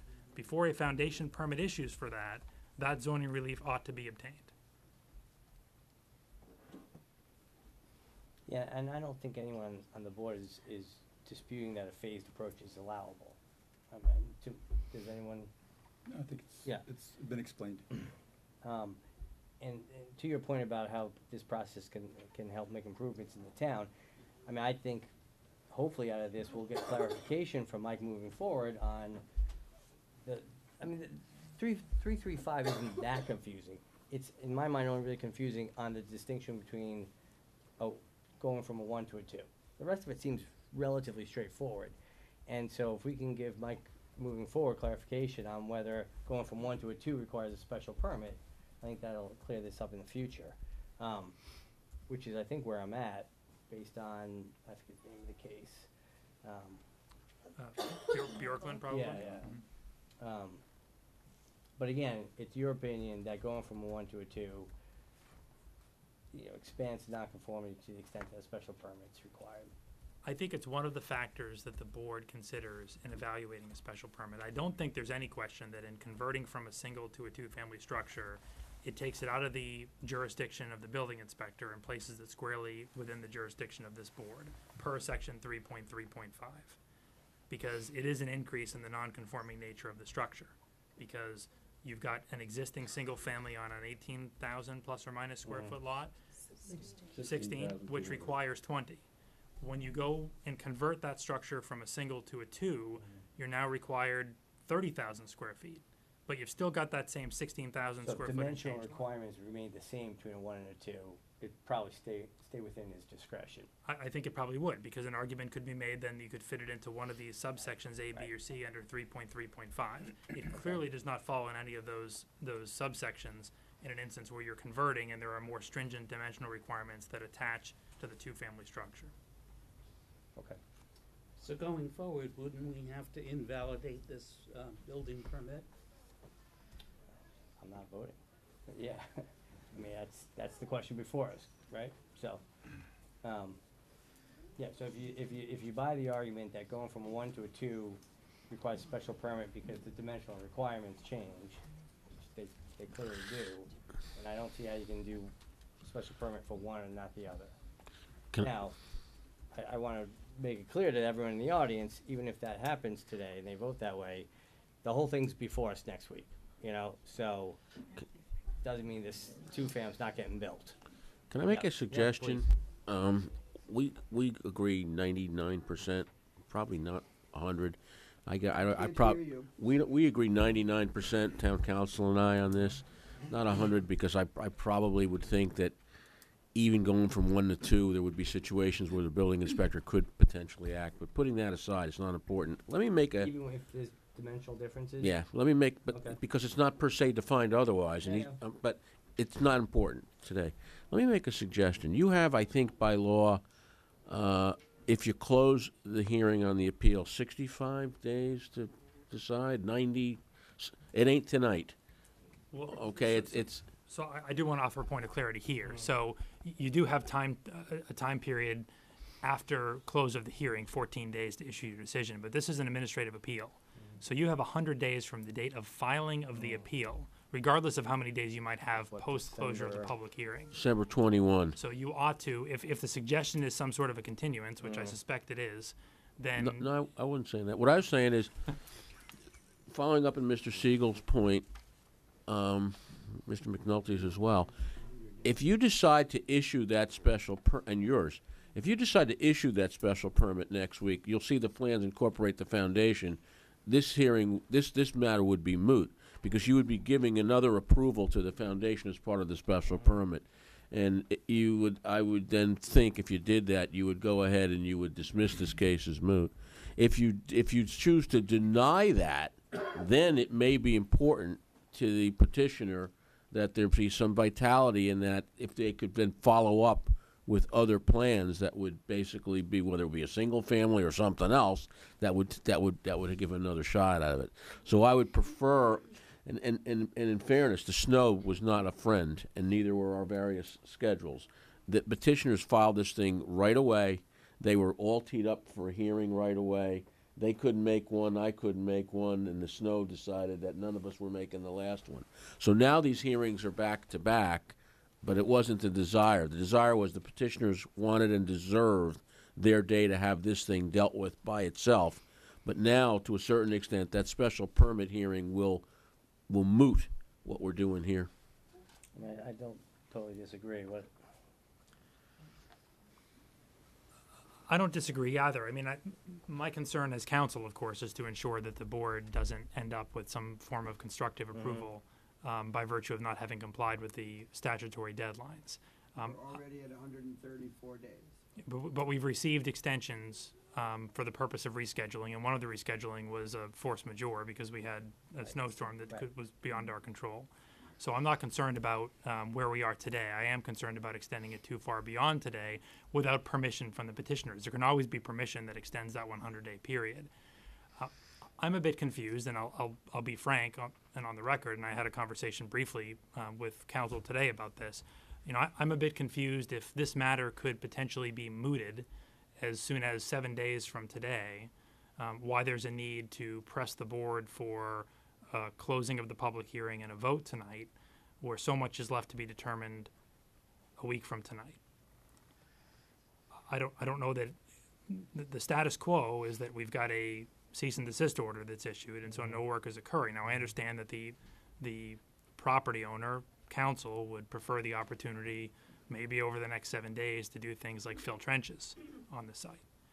But beyond that, much is left to be determined on Tuesday. And that determination, if it is an approval of a two-family structure, would, as you just heard, moot these proceedings altogether, because now you've given very, very permission for whatever you may be overturning if you opt to do that tonight. so your advice is just continue, don't close, continue, see what happens next week with special permit. I, I'm proposing that as a possibility, but it's not necessarily my advice, because I don't think that's within the discretion of the board, No, no, the- given where we are with respect to timing. I think that that has, that question needs to be put to the Yeah, petitioners if that's what the board wishes to do.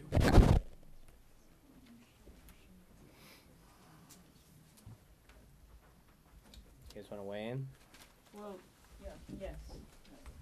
So, first of all, I just, ah, I don't like rewriting history, so we're gonna give you copies of the stop work order, the timeline, and copies of emails sent to the town about that. And I'm also asking you to read the emails from the building inspector in the packet that do somewhat dispute what he said. And I, I think that just has to be considered. Like, we need to talk about facts, we need to talk about what's fair, we need to talk about the law.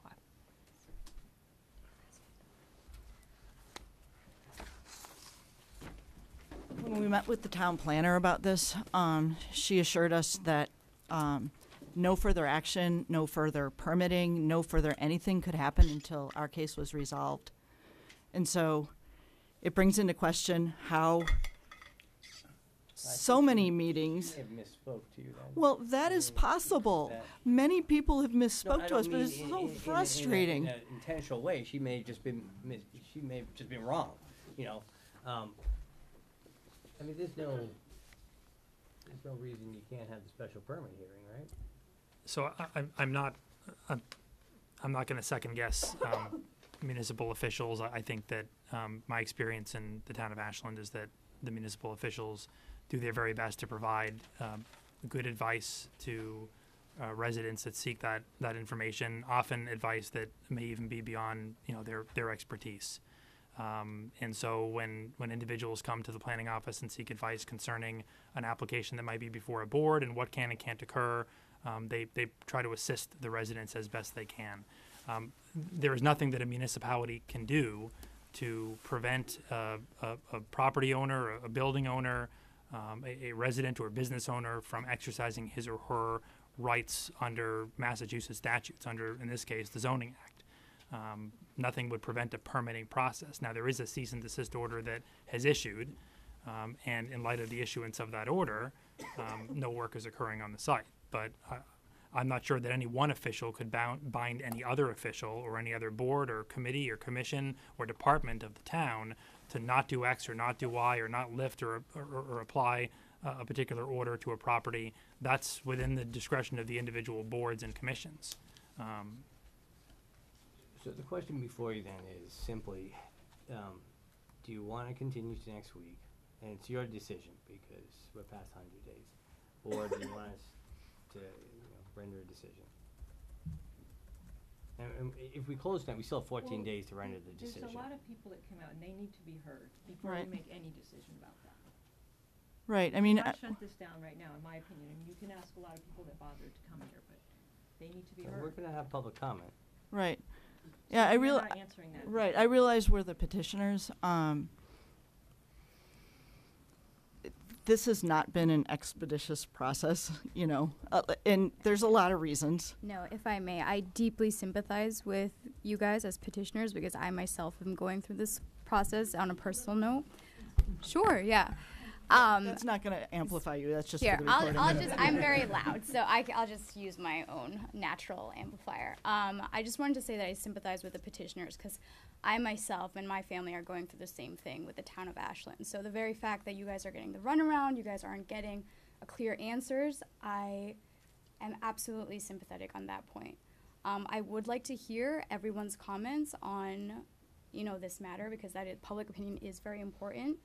Um, so going forward, it's, I mean, because we're past the hundred days, it is up to you if you wanna extend that comment period to this special permit application next week, or if you wanna hear comments today and just, you know, continue what we have today and prolong the special permit when we hear the special permit.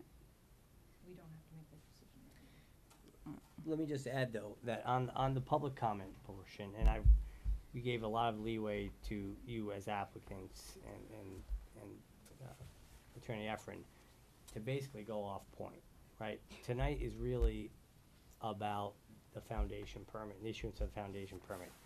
And not so much about whether the two-family is, is, is right for this neighborhood. right? That's- Except that it was about a two-family foundation. But we're not here to, But- to talk, to issue a special permit on, on the two-family. We will be next week. Yes, We Right. will be yeah, so absolutely next week, probably and I'm be not better saying to we don't do wanna hear this that, we do. And that's what next week's hearing is for. So I, I gave you a lot of leeway to go into that. We're not gonna give the same leeway to everyone else. Everyone else's statements needs to be on point on the special permit that was issued, I'm, I- I'm sorry, on the foundation permit that was issued. You're gonna get your chance. So can, can I just say why this is confusing? Absolutely, yes. Right, so, so th- this building project started and, and the only thing that we had for information, well, that's not entirely true. There was, there was actually a, a building permit granted, but it was pulled off. But, um, so when we looked online for what was gonna be built, because, you know, it's in your neighborhood, you just kinda wanna know what's going on, right? Um, we looked and it was a two-family, and the only thing that there was to appeal by the time we appealed, and this was after we tried to get information, um, was the foundation. So we're, we appealed the foundation, but the foundation that was granted was for a two-family. So it's really hard to, for us To differentiate the to separate that it's a foundation and it's a foundation for a two-family, because w- why would you put a foundation for a two-family if you were gonna build a one-family, right? Like, and I know we can go into the phased approval and now this and now that, but, but that is what we're appealing and it was for a two-family, so it's, it's sorta hard to separate. So, let's oh, I don't know. I, I'm still in charge. get out of my. Well, that's a good thing. But Phil, I still get back to this, I still get back to this issue of whether or not the building permit was granted quote-unquote legally or appropriately without the consideration for a special permit. So the special permit should have been first, and then the foundation comes after that. You don't, you don't deal with the foundation, put the foundation in, and then we, we determine, oh, well, you know, a special permit has to be And I'm given. gonna let Mike respond to that, but I, Horse I, I in the think that we're trying to give some clarity to him moving forward on that, because it wasn't not clear that a special Right. permit was necessarily required. But we've determined Now, that now we through the may have, process. and so moving forward, but, but go ahead. In the beginning, okay, Tallies came to me with a plot plan with what their house was and what they wanted to do. They gave me like a proposed, you know, wish list. I also have that, and that's actually uploaded to the file, and it should be in that file also. The fact that I wrote down the three point five and you needed to meet this criteria, and this is what you needed to do, whether it be a, an addition or even a, two-family. If you wanted to go for the two-family, which is what their wish list was, mm. This is the criteria you had to m- meet. I wrote that on their plot plan, I took a copy of it, it's in the file, it's also, they have it as well. So they know, they knew what they had to do for a two-family or an addition or whatever they decided to do at that point. Right. I said to them that I would give them a foundation permit if they meet the criteria. I give them that to start. And Mike, They by- also by explained to that me you- that they couldn't afford to do the whole project all at once. So I was willing to help them do that. Yeah. But at any point, Mike, did you tell them that they needed a special Yes. permit? You did? Yes, For what? for the other half of the project. I said I could not give them the whole thing. I wanted to see the whole thing of what they wanted to do. Then it was my determination to give them the half that, that, that what I could give them at that time. And that's what I did. Because if that was all that was built, you would have, and built according to the code, you would have given them an occupancy permit. For Yes. an expanded single-family home, isn't that correct? Yes. But that would be a this is about. two-family. structures. I haven't heard Two that. separate structures. Okay, I haven't heard that until now. There's a house okay. Stu, and that house. you have more? I'm excited. This is what it looks like.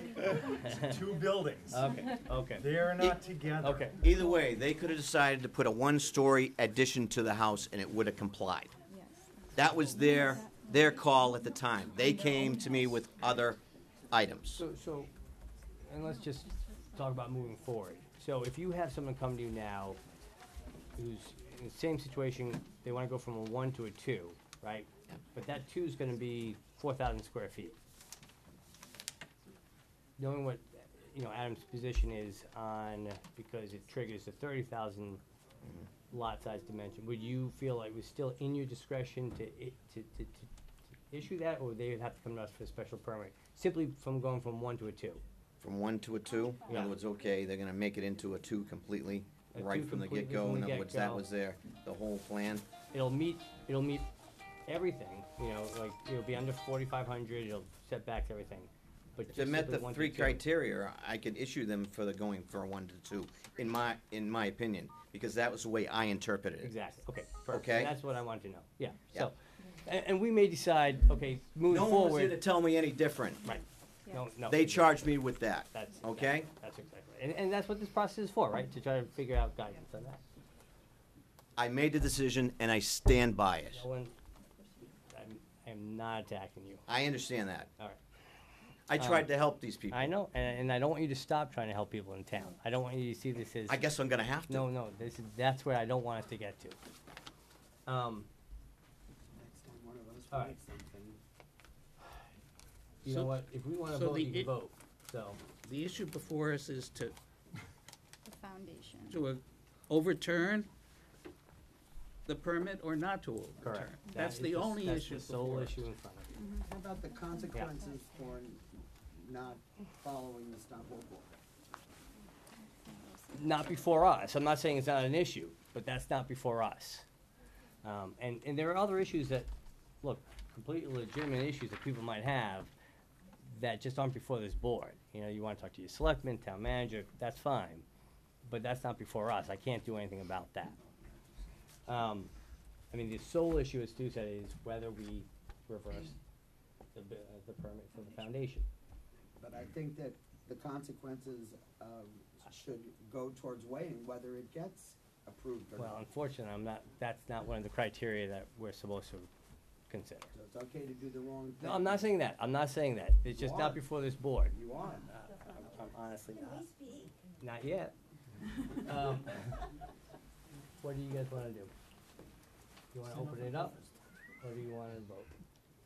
Don't you have to open it up before you vote? We, we, we don't, Okay. um, they may, you know, we may choose. to. I, if I mean, we, may, we yeah. usually do, but, Okay. That just yeah, yeah, kinda yeah, we seems usually wrong, do. but, Yeah, know. no, I, I, I think we should open it up. yes, Okay. I Let the agree. people- Okay, because good. You are all here. Mic is live, just, just get in line, whoever wants to speak, but again, we're really trying to keep it to the- Foundation. the foundation permit. Jim, you've been waiting all night, come on, buddy. Yeah, I'll come up first. There you go. You guys don't be afraid now, you just sit up here and say your piece. Oh, I always do. Uh, I just, I don't wanna make any criticism. I know I know you. Yet. Uh, I think you know I am here. Yeah, name and, name and address. Uh, James Hanna, sixty-five Elliott Street. I happen to be a wonderful member of the zoning board of appeals about fifteen years ago. And one of my pride and joy decisions was made on exactly a situation where you were dealing with, uh, what do you call them, Jerry, pre, pre-existing But non-conforming? it was on the form, it was under the No, no, form no, no, no, no, no, but, yes, I don't. speak, let it-. It may be on a, it was the wish of the people to have a bylaw that says something like that. And, then- and along came a party who wanted to do something with a lot right next door. Except it didn't confine, confirm to the uh, pre-existing nonconformity. Well, we fought that for a good year. People like Jerry and a whole bunch wanted this thing to be changed. And we stuck by our board and said, that's the law, unless you can make, you can find a way to change it, that's the law, and that's what we'll abide by. And as Jerry pointed out, since then and now, some, someone's got in there to uh, make it something a little easier, three point five, whatever it is. But it's not that tight. It still says, we'd prefer you not to approve it so that we keep the growth down. Because what the, the land court was too concerned about in two thousand and two was if you started to let this happen, a lot of these lots would get loaded up with houses and all of a sudden you'd have a, you'd have a growth problem that you didn't really want to develop. That's at least the, that was the action plan then. But what I'm trying to say is Ashland had that action. It has all the ramifications to that action. All the decisions were made and not made and changed right in your own file. And I'll bet you no one in this office has looked at it. And if you don't know what a conf- that is, you, you how can you make how can you make any decision on it if you don't know what the conditions at least were then, uh, and why they were done then for you, the town of Ashland? We never considered in this stuff. Jerry's gonna help work with him. They're both gonna make certain changes to the conditions. In the meantime, all the people behind me are waiting for what's gonna come out of the bubble. And this is a great issue also on the fact that our due process is so damaged that we don't know. This building inspector is a fine guy. He ends up being the only guy in town who has to make the decision because the planning board sound asleep. And he has to do something. He does what he's supposed to do. But it wasn't in the proper order. He should have had hearings. There should have been all kinds of hearings on this issue for the neighborhood so they could better understand what's going to, what their options are. They never got it. So I'm only here pleading for you fellows to read the only, the only court case we have on pre-existing non-conforming and why. And maybe it'll help you make a better decision or whatever you make, but that's what we gotta do. Stop all this stuff that got done in the wrong order, in the wrong fashion. It just should, it should be stopped and started all over again and done, done right. And that makes the people feel better. Thank you. Come on up. Just come on up to the mic and.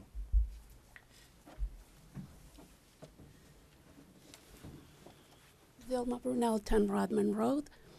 Um, within the last 10 years, there were two other houses built in our neighborhood, one on the same road and one next to my house. Uh, we did come, we did receive the information in the mail to come to the hearing to express, and in both situations, there was only a one family home built. Same neighborhood, one on the same street, one next to my house. So I'm wondering now what's changed that? And I know every situation is different, but it's the same it, it is basically the same situation because in those two cases, they did want to build two-family homes, and they were denied. And one-family homes were built in both on both lots. zoned for one and two family, right, and, but they, next week, they're coming before us with special permit application to build a two-family. So hopefully you'll come back next week, and that's when we're gonna, we're, we're gonna really discuss that matter, whether, whether they, the, the permit. Does that make sense? Well, not really. And again, it's not blaming anyone, that's not the point. But why was it allowed to build something, a foundation so big in a space that, an y- that is not appropriate for? Well, and, and that's what we're gonna, we're sorting through that, and then next week we'll sort through what they can do with that foundation. You know, it's, mm-hmm. it's definitely not a given that they can build a two-family on that. Okay, all right. I just wanted to, you know, understand why in other two cases was not. Okay. Thank you. Yeah. Come on up.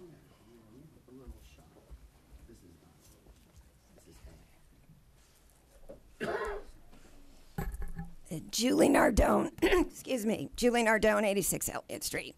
Um, the the foundation should be repealed because it is for a two family, and un- I disagree with what Mr. Efron said. A pre existing non conforming lot does not is only good for the existing structure on the lot. A new lot, a new building has to conform to the new code. And that's section, I think it's uh, 40, Mass General Law 40A, section 6. You can look it up yourself, or I can send you what I found. Um, but this whole thing, i- and this isn't the first time, this happens constantly in this town. It's like, uh, I call it classic lawless Ashland. We just make up things, we don't follow our zoning. People spend a lot of time at town meetings, like me, um, trying to approve these things, and then everything's just a suggestion.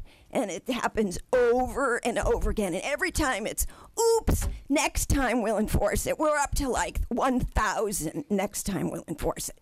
So you're going to make a mockery of our zoning and our bylaws if you don't repeal this. Um, two, what year was this house built?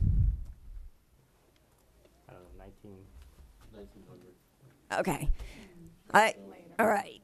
There's another reason why you can't have this foundation. You would have have to have gone to the historical commission for a demolition delay hearing. I was the chair. I was on that committee for eight years. Any structure built before 1940 has got to go through the historic commission to see if they want to uh, enact the nine-month demolition delay. So that is a whole nother hearing, and our building inspector is very well aware of that because, again, scenic bylaw, demo, all these laws, I was constantly un- having a hard time getting anything enforced in this town. Um, so you're going to have to do that. And if I was still on the historical commission, and I would certainly go to one of their hearings, I would say that this is a historic building and should be saved because that neighborhood, those kind of neighborhoods with affor- uh, affordable housing are actually an endangered species, and that we would want to keep that. I've driven through that neighborhood. It's it's a little oasis off that busy road, and it's it, the houses are cute and adorable, and they are historic, and it would make an awesome walking tour. Um, and what else? Uh, what else do I have here? Um, Well, I ch- I just want to ask about that. I, I, I wasn't, I mean, our, our standard decisions usually say, and, and by the way, you have to be in compliance with all other, you know, town, town bylaws, but, uh, what's the deal with the, with that non, non-tear down pre nineteen forty? So that's right. So um, we include, I include when I draft your decisions generally a standard condition that says any and all other permits and approvals required from other municipal boards, commissions, committees shall be obtained as necessary Mhm. pursuant to zoning and general bylaws. Um, that's certainly not before you tonight because all that's before you tonight is the foundation. No, no, just. Um, it would, it wouldn't even be before you, quite frankly, on Tuesday, because all that'll be before you on Tuesday is a special permit for the reconstruction. But prior to the issuance of a building permit, the provisions of that, of that bylaw would apply. Okay. Even if there's no tear down with the building permit? Well, I'm, I'm, not suggesting that they would require a demolition delay necessarily, or that the, the procedures that are dictated by that bylaw would be applicable here. I'd have to review it in light of of the details of this proposal. That's not before the board. I've not been asked to review that yet. I'd certainly be happy to do it if I were requested to do it. Um, they may or may not apply. Generally, obviously, if it's a complete tear down, the provisions apply if it, if it, uh, qualifies as a building protected by that bylaw. If there are substantial modifications or renovations, uh, renovations to the structure, sometimes again, the bylaw is triggered. If you're removing one wall and building an addition, sometimes it's not. Um, one final thing. Yeah. Oh, Question. can I finish though? No. Oh, I can't finish. You can finish. You can You want me to but not right finish, now. right? It'll go away You if I, brought if up I a don't. great point, and we're, we're exploring it. Go ahead. with the, right now, if we were to hypothetically approve the current foundation be built, uh, where does the, where do any zoning laws, building code laws have to do with the existing building there? It's like ten feet away? Now, if it were, Alright. at, yeah, ten feet's generous. Uh, but if, it- what, what happens to that? Uh, if they, uh, you build, it- build the new building, two stru, uh, two family, one family, whatever. Uh, and the, the, the whole purpose is to eventually tear down that other build, the existing building, whether or not it meets historical code or not, which it may be for all we know, but we don't know that. Where, where do we go with that? Because of, of the lack of separation. Where does that fit in any code? Through you. Yeah, go. So it, it's a fair question, but I think it's premature. Okay. So I don't think there's been any suggestion through this process so far, either by uh, the property owner, by your, your building inspector, that there would be multiple uh, principal structures permitted on this lot. I think there have, we've heard different stories. We've heard stories of a single two-family. We've heard stories of um, an addition to an existing structure. We don't have enough information to know that Okay. yet. All that's before you is the foundation. Um, certainly, there could be further appeals if there are further challenges to zoning nonconformance based upon what ultimately gets constructed or gets permitted.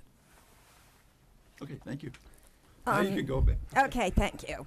Um, I have one question uh, for the petitioners. Were you allowed to speak to town counsel? Did you speak? Nobody offered that. Okay, this is just a, a big peeve of mine. We've got the two lawyers talking with each other in the background somewhere, and the and, and the taxpayers foot all these bills, but we aren't allowed to speak to the tax to the to the town counsel, and it is horrible, and it's got to change. And I don't know why these two were in the background talking to each other. And I'm going to say one more thing, and then I'm going to go back to my seat. Um, this foundation should be removed and filled back in with dirt, and you should start this thing all over again. Because that is the only thing that is the right thing to do and the right way. Because otherwise, you just you just let people do whatever they want in this town. And you know what? You should all leave, and we should all leave, and we should become Houston and not have any zoning. And you can put a slaughterhouse next to your house, whatever you're having a problem with. Because otherwise, we're all wasting our time. Thank you very much, uh, ZBA. Mr. Chairman, may I? Please. It's gonna be hard to follow. I'm that not sure one. I can don't- follow I don't that. think you can follow. Nothing. I, I, I- I just want to offer a point of clarity. Um, Jerry called me today at noontime, one o'clock. Our conversation lasted about three minutes. He said, "Have you received the paperwork?" I said, "I have." He said, "What do you think?" I said, "I'm reviewing it all. I've got some thoughts. I'll share them with the board tonight." He said, "Okay. Well, if you've got questions, feel free to call me." I said, "I will." We hung up. So there has been no frequent or repeat conversations between Jerry and I concerning the, the matter that's uh, before the board. Um, I received information through uh, official channels through the town. Review what I had. I had a conversation with your chairman uh, about two hours before the meeting got underway, just about procedural matters, conducting the meeting tonight, uh, and that was about the sum and substance of it. So, just so we're clear. Another quick question. Can someone who's appealing an action by the town, can they talk to town counsel? Well, as I'm, I'm sure that board members can appreciate, municipal officials, your town manager and others, your selectmen, have a responsibility, otherwise they'll hear it from the taxpayers, to uh, limit the use of counsel amongst themselves, let alone amongst the general public, because attorneys are expensive. Um, as a consequence, you know, generally I don't take calls from members of the communities that I represent unless I'm instructed to do so by the town manager, the selectmen, a board that I happen to be representing on a particular matter. I do have some regular communication from time to time. When there is an applicant and a respondent and there's an ongoing matter before a board, I'll get authorization from that board to communicate with the applicant, which would be in this case the petitioners, or the respondent, which in this case might be your building inspector or might be the property owner, uh, in the interest of getting information so that I can better advise the board through the process. But it's it'd be unusual for there to be, you know, if, if the municipalities I represent, and I represent 14 of them, were to sort of open the floodgates to contact our counsel directly, uh, that would be expensive for them and I wouldn't get anything done. The, I think the point being is that the town officials, whatever they are, uh, Board of Selectmen, uh, Town Manager, uh, Planning Director, et cetera, they're the ones to field these questions, not being directly passed to Town Counsel. Well, that, that's correct. And I mean, the reality is, and I know that nobody likes to hear it, and I can appreciate it. I, I just said a moment ago, attorneys are expensive. Yes, we Um, know. The, the reality is that, you know, petitioners have the opportunity to engage counsel of their own and to get representation to speak for them, much like a property owner does. Again, I recognize that there's a cost and expense to that, and it may not be practical, it may not be reasonable in a given instance. Um, but the, the town does its best to provide advice and be responsive to the needs of, of residents. Um, but if residents have a position and they want representation in that regard, that's not the responsibility of the town or of town counsel. Okay, good. Sorry. No, don't be sorry. Ann Philippone, 32 Lakeside Drive. Um, I just have a couple questions. Like, I am one of the larger lots in the neighborhood. I did do an addition. You guys made me jump through hoops. I had to do variances. I had 11 separate inspections. I followed the rules. That's what we're asking here. I mean, the form for the foundation was definitely poured after the cease and desist. Who's inspected that? Is that safe? Because that's in my neighborhood. My kids are there. I worry about that. And I just, you know, I just want to make sure it's done the way it's supposed to be done. And, you know, if it gets approved, that's fine, but there's two separate structures right now the new foundation and the old house. So, you, you know, that has to be proved that the old house goes. It, it, they just can't both stay there. Uh, I don't disagree. until You know, we- parking, there's a lot of issues. We will fully vet it, I promise you, next week. Come on, you. I- my question is for next week, I All think, so. right. You- keep direction. eyeballing me, I so I'm know. waiting for it. Chris Abraham, 33 Lakeside Drive. Um, I just have a question. Because it's a non-conforming structure, single family, the lot is under 20,000 square feet. Mm. Is that a large reason why they're here? Because to get the double, the two-family, they need a 30,000 square foot lot, which is almost double what they currently have. So if their current lot was 21,000 square feet, would they Yeah, the fact that able they're to do that? existing non-conforming is some of the reason they're here. Yeah, that's what I'm trying to get at. Like the massive change from the single family being on the 16,200 square foot lot to a two family being on that same lot when theoretically it would need a 30,000 square foot Mhm. lot. Mhm. That just is a big change for me. Absolutely, yeah.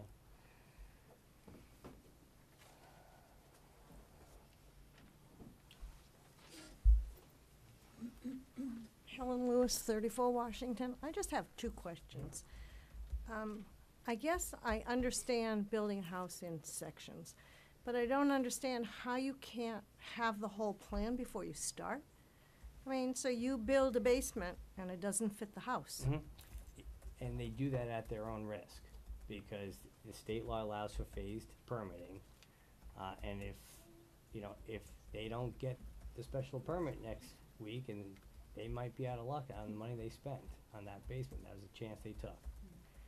And the second question is, if the other house has to go before um, the historical commission as to whether or not it can come down, then you'd end up with two houses on a lot. How can you put a foundation when you don't know if the other house can even come down? Well, that was my, my question on how that process is gonna, is gonna play out. Um, we have, we like, we have some stock language says you have to be in compliance with all of the town uh, bylaws and get all your permits. And I feel like that'll cover it, but do you wanna just weigh in one more time on that? So I, I don't want to delve into matters that might be within the, the jurisdiction of the building inspector, but in most instances where there's an existing structure on a lot and the proposal is to raze or demolish that structure and to replace it with a different structure, but the existing structure is somehow potentially protected under a demolition delay ordinance or bylaw, the, the building inspector wouldn't issue a building permit for the new structure unless and until the old structure was razed, was demolished. Um, and there hasn't been a building permit issued here, there's been a foundation permit issued here. So that's usually what happens. There are some exceptions to the rule wh- where you've got uh, individuals that are living in the existing structure. Maybe there's some permission allowed for that existing structure remain for a period of time while construction's underway of the new structure. But generally, I would expect that your building inspector would demand some, some proof, some evidence that there are no obstacles to ultimately razing or demolishing the existing structure before allowing the new structure to be, to be erected. Mike, do you wanna weigh in at all on what you usually do in situations like that? That's why I only issued the foundation permit at that time. Yeah. Cause I was looking for more information. Okay. Can we ask that when Mr. Efron comes back next week with the list of two-family houses, that they're confined to Ashland? Is that the residence? I don't think I can do that He kind of. said, he said next, he said next week he's coming back with about thirty-two family houses in the neighborhood. He's Uh, like, eight. yeah. Yeah, Can we ask that they're just in You Ashland? can ask whatever you like. Are you going to do it? Whatever you want. You'll do whatever you want.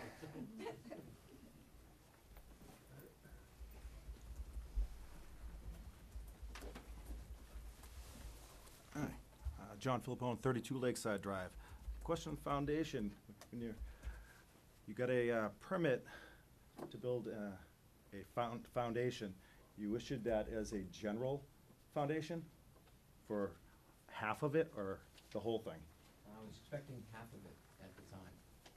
Didn't have all the information. I had their wish list, yes, but I told them that that wasn't gonna fit the criteria. Okay, so So you I have a, decided to give them half so you'd have a that found, comply. So- sorry, you had a foundation here with a house right here. No- No, know, knowing that they're not pouring a full foundation. Right? No. My, my, my interpretation was that they were connected to the existing house at the time, okay? Because it was gonna become a two-family, whether you use the existing structure or a new structure, okay? They could do either, it wouldn't have mattered. They still would have met the criteria, that's what they had to meet, the three criteria. So the issuance of the foundation permit was a start of the project because they needed to phase it, because they weren't gonna be able to do it at the same time. Where were they gonna live if they take the other structure down? Uh, uh, just direct the question to us and then we'll, uh, yeah. What would you do? Alright, alright. So you have a house here that you're giving a foundation permit for with an existing structure that's gonna be here. So you get, now you're gonna build this house, and this house is gonna be here, correct? I, no, cor- they're- but they're, they're not connected, and they're never gonna be connected if you look at the plans, by any means, if you s- know what this house looks like. Well, I think the original plan was to Tear it raze down. that house and to build a, a brand new Right. two-family, right. Uh, that's why I said you issued them a half of a permit, But they're not gonna get that permit to build the structure until they complied, you know, th- that was his intention, so they complied with, with the Right, bylaws. so he, they, they, they issued, they had issued a non-conforming foundation. Actually, it would be conforming if they built a, If a they- garage on it. That's right. If they, And depending on what they put on it, right. And so they do, they, So They they can have a did it garage. at their own risk. They can have a garage. Right, and they did it at their own risk.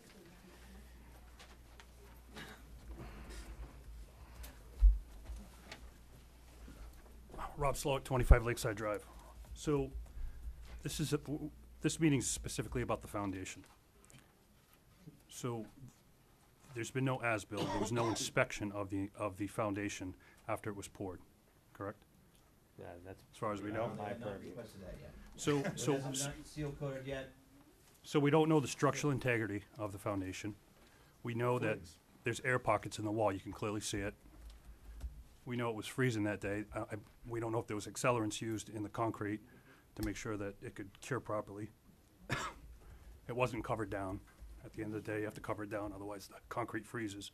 A lot more which about im- this than I do, Which but yeah. impacts the structural, I've been in construction for thirty-something years, which impacts the structural integrity if, if it's not covered down and cured properly. We all walked by, we didn't see any of these things happening. So that's another question, you know, this, this, the scope of this meeting is specifically about the foundation. We don't know if this foundation is even structurally viable at this point. That's, It's a, it's a, it's a great point, but that's, you know, the viability of the structure is not out, you know, whether, whether that permit should have been issued, that's what's before us. Okay, just Yeah. wanted to raise the points. No, sure. Okay, I'll ask my question. Oh, here she comes. Was it burning you? Yeah. It's probably for next week, but That's all Louise Abraham, thirty-three Lakeside Drive. Um, so we've been talking about this house, and the talk has been converting it to a two-family. Mm-hmm. That's what I hear all the time. So you're gonna take the existing house and convert it, according to your three or something point, whatever. Mm-hmm. But you're not converting it. You put a new structure here, which is not attached to the current structure. And then my understanding, I don't know if I'm correct, is that the current structure will be demolished and another new structure put up. So that's not converting an existing Uh, structure, that's new construction, am I correct? You, you're, cor- yeah, more converting the use from a single to a, a two-family is, is the way I was using converting. Now, whether, I don't, I, I don't think they're gonna keep that structure, I mean, I don't think that's the plan, right? I mean, No kidding. Right. So then this is new construction we're talking about. Yeah, so the conversion is from one to two-family, not the, act- the actual physical structure itself. Converting the lot. Con- Converting the lot. Yeah. So th- you're talking about converting, so it's new construction, converting the house. It converts the use of the lot. So it doesn't have to follow new construction rules? Sorry. See, you didn't want my question, I know. Go back to your wall. I, I, could- I, I, I could list, um, wanna go up? Do you wanna add something to that? I I mean, I can respond if you'd like Yeah, me to. please. Okay.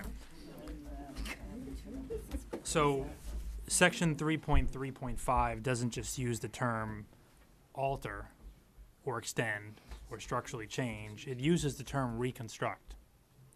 That's a determination that was made in the drafting and the adoption of the bylaw to include the term reconstruct. And that's consistent with chapter forty-eight, section six. It uses the term re- reconstruct as well.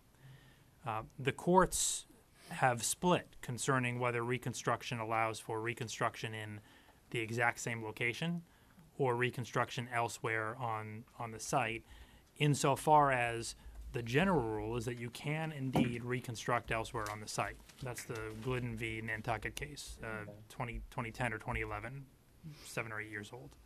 Uh, that was an important case because it determined that yes, indeed, you can reconstruct a pre-existing non-conforming structure in a different location on the site and still preserve the non-conforming protections.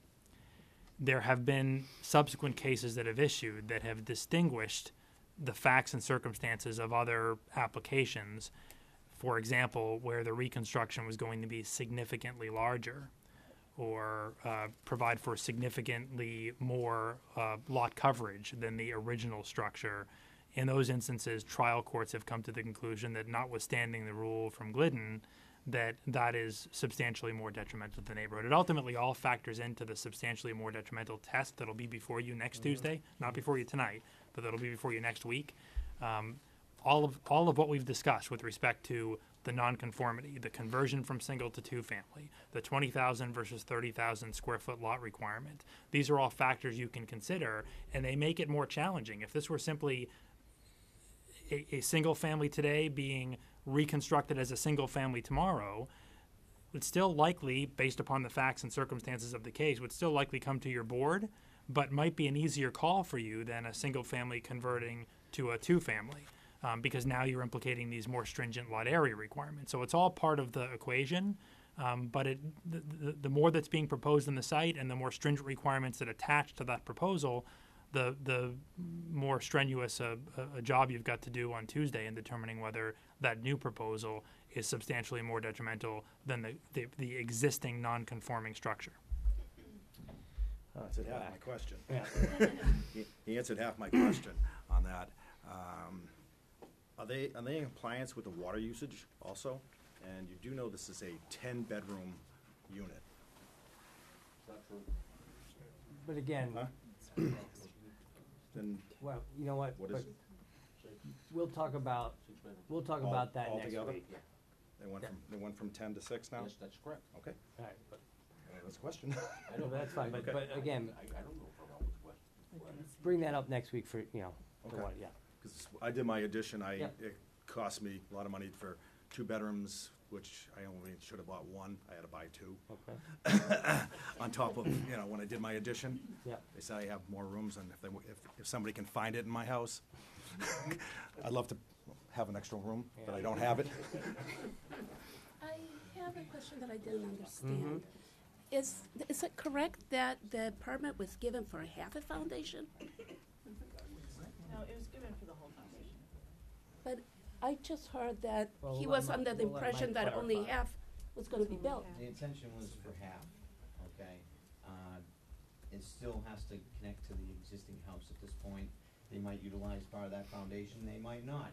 And I was also gonna say, the foundation doesn't have to be there in between, say, two foundations. I've had houses that have Well, bridges it's not between two the foundations, it's And one it doesn't have to big be a fo- foundation underneath that part of the house. They could put a door, they could put a window there, it doesn't, they could put a, a- anything, they could be a pass-through Right, for, right, they could for do like a whatever. breezeway, whatever. Yeah. Okay, so I'm still not understanding, mm-hmm. because if you look at it, it's one foundation, one big foundation.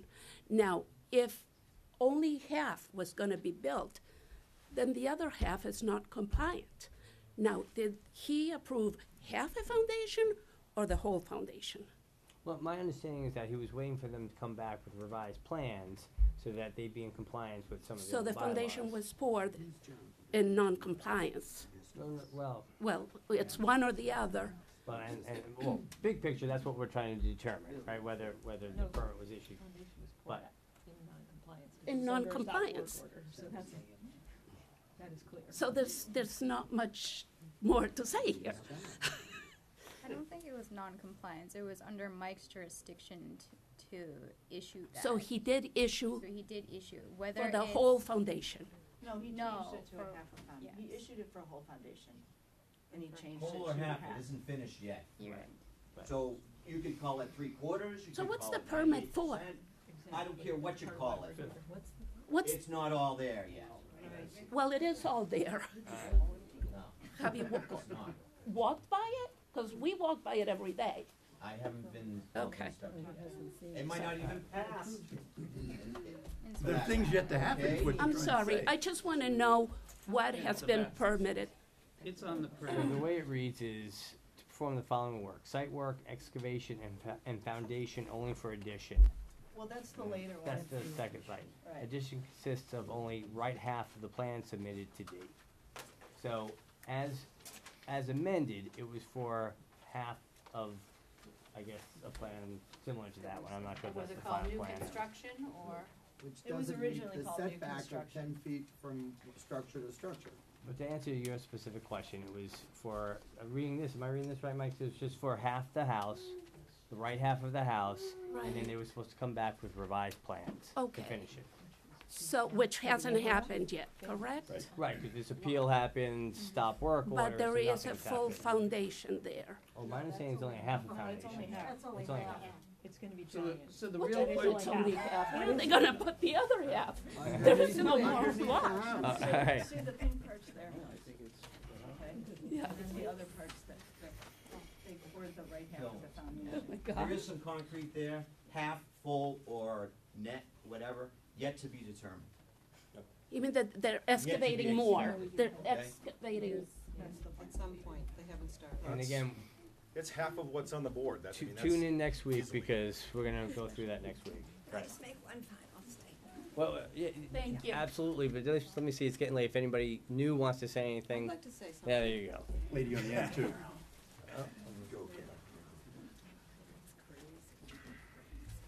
My name is Carol Gran, and I live at 30 Lakeside Drive. First of all, I feel very bad for these people, but I understand that I feel bad for us, too.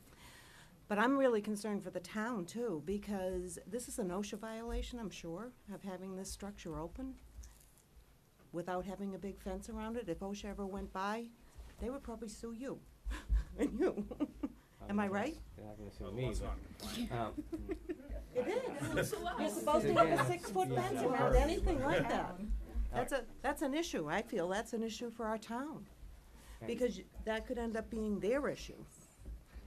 I don't disagree, or- or, but it's not, that's not before us. I, I No, don't I think you don't understand that, but. I think we, sh- as a town, should think that through. Okay? I was gonna say, I think I see Mike Herbert hanging out there, but, oh, there he is. Yeah, anyone, anyone else new? Yep. Are there people out in the hall who wants to, who wanted to speak? You're listening, Okay. you know. Uh, Kathy Rooney, 136 Fountain Street. I've spent a lot of time in this neighborhood, so I'm pretty familiar with it. And it's lovely. It's the only real neighborhood that I first found out about 10 years ago in town. Like, people here act like a real neighborhood like I had when I was a kid, when I was younger. It's wonderful. This pink writing on this, about this foundation and how it happened that there was an appeal and a stop order, but work continued, that's a huge concern. The size, the the mumbo jumbo back and forth about single family, double family, wh- what's allowed, what's not allowed, the the the variances in our zoning law that allow us to be even all of us sitting here having this conversation is less cut and dried. I, I just think we, we have to do better. We have to do better for all the volunteers who volunteer time for the town, for all the staff who work so hard for this town, and for all of the ha- hardworking taxpayers in this town. We have to do better because nobody wants this. This little tiny project in this little tiny neighborhood is a slippery slope. This is how we got to rail transit. This is how we have Avenue of the Americas. This is how Hickey ran around and ran roughshod back over where he built all his houses and dumped stuff in the wetlands and all the other bad things he did over there. We need to ask more. We need to ask more of our staff, of our volunteers, and we need to put the brakes on and say, maybe we should just say, let's wait a minute and let's have a discussion about this before we go and issue things. And uh, you know, I would like in the future for not only an individual single family developer or a multifamily or a big lot developer getting help from our town, I'd like the neighbors and the abutters given the same type of help and the same type of consideration. I think if we can do that in this town, we'll be a really great town. We already do a lot of things right. Let's do some more things right. Thank you.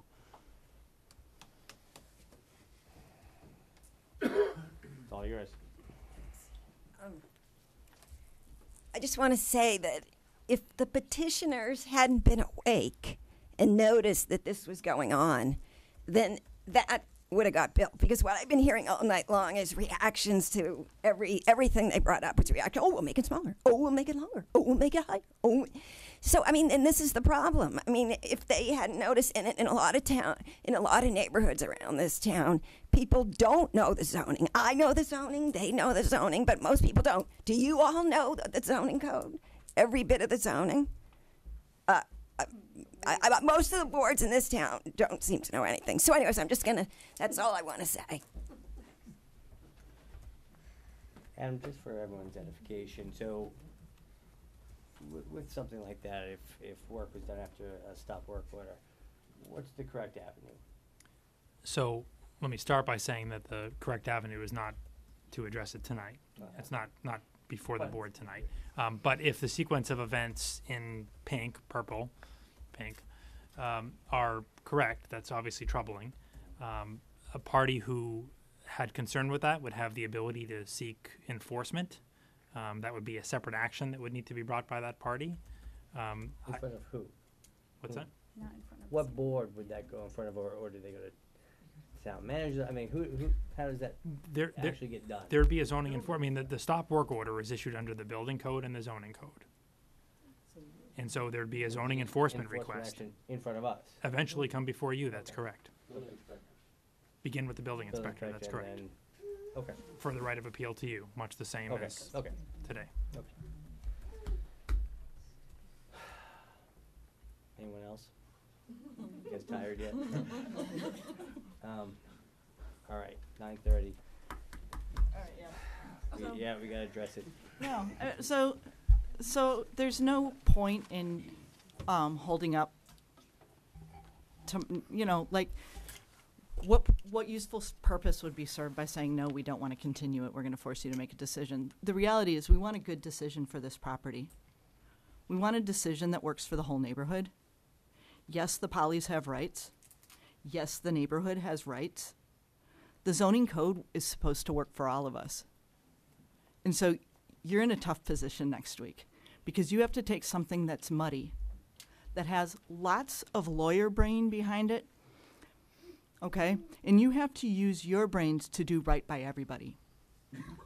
Okay, we've done the best we could with, you know, our brains that don't study this for a living. Um, to figure out what we can do to make this right for everybody, but but it's on you to make that decision.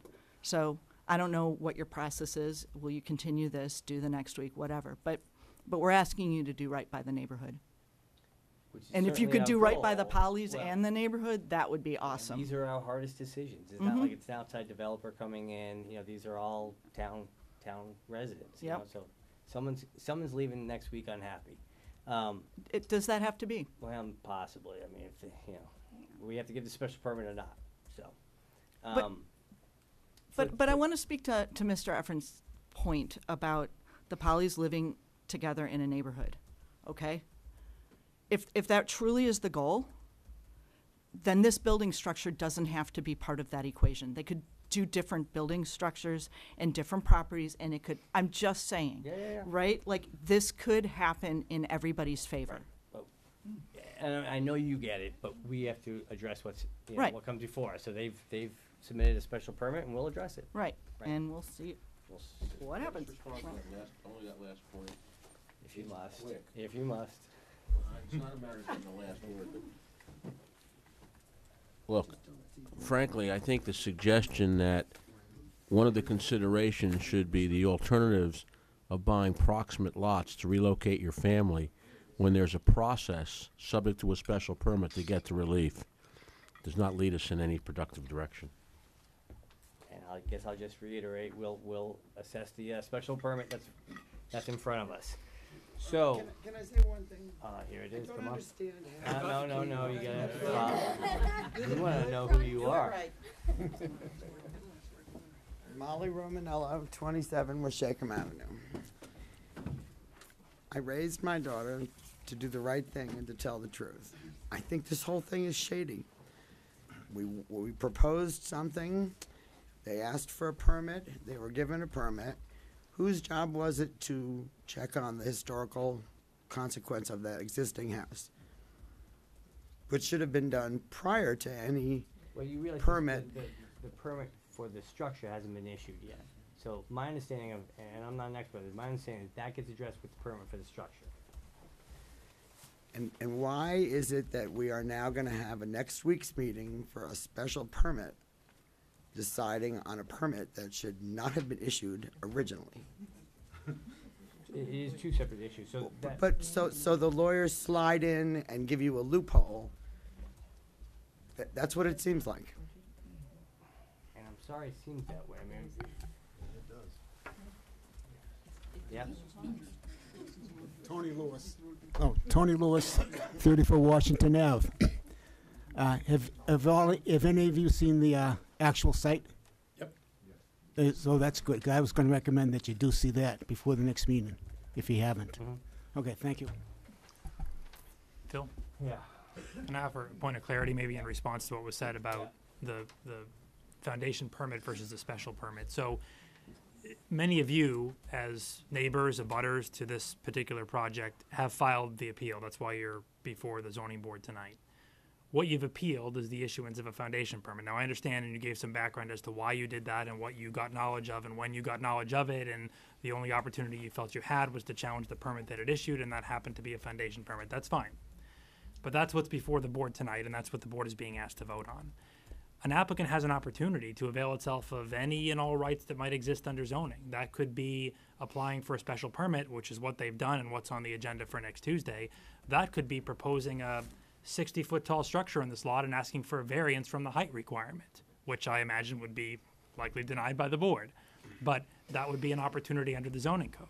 That could be seeking a use variance for a different use of the site. So there are all sorts of opportunities that might be available to a property owner under the zoning bylaw. So it's by no means a loophole where the applicant's coming back next week. The applicant has made an official application for a special permit.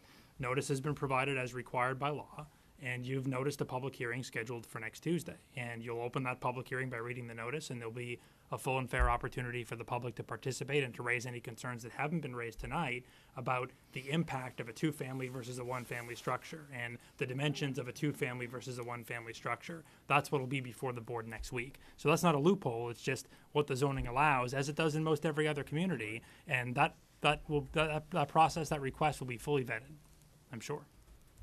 And those are rights afforded to every, every property owner in town.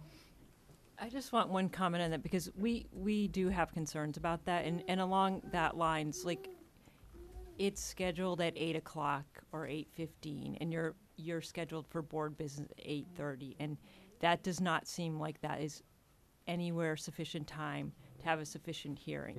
And a, and a follow-up concern is that I, I heard you tonight saying you didn't have to take public comment and if it's a hearing, um, I'm kind of wondering how that could go next week as well. Well, we're gonna take public comment, yeah.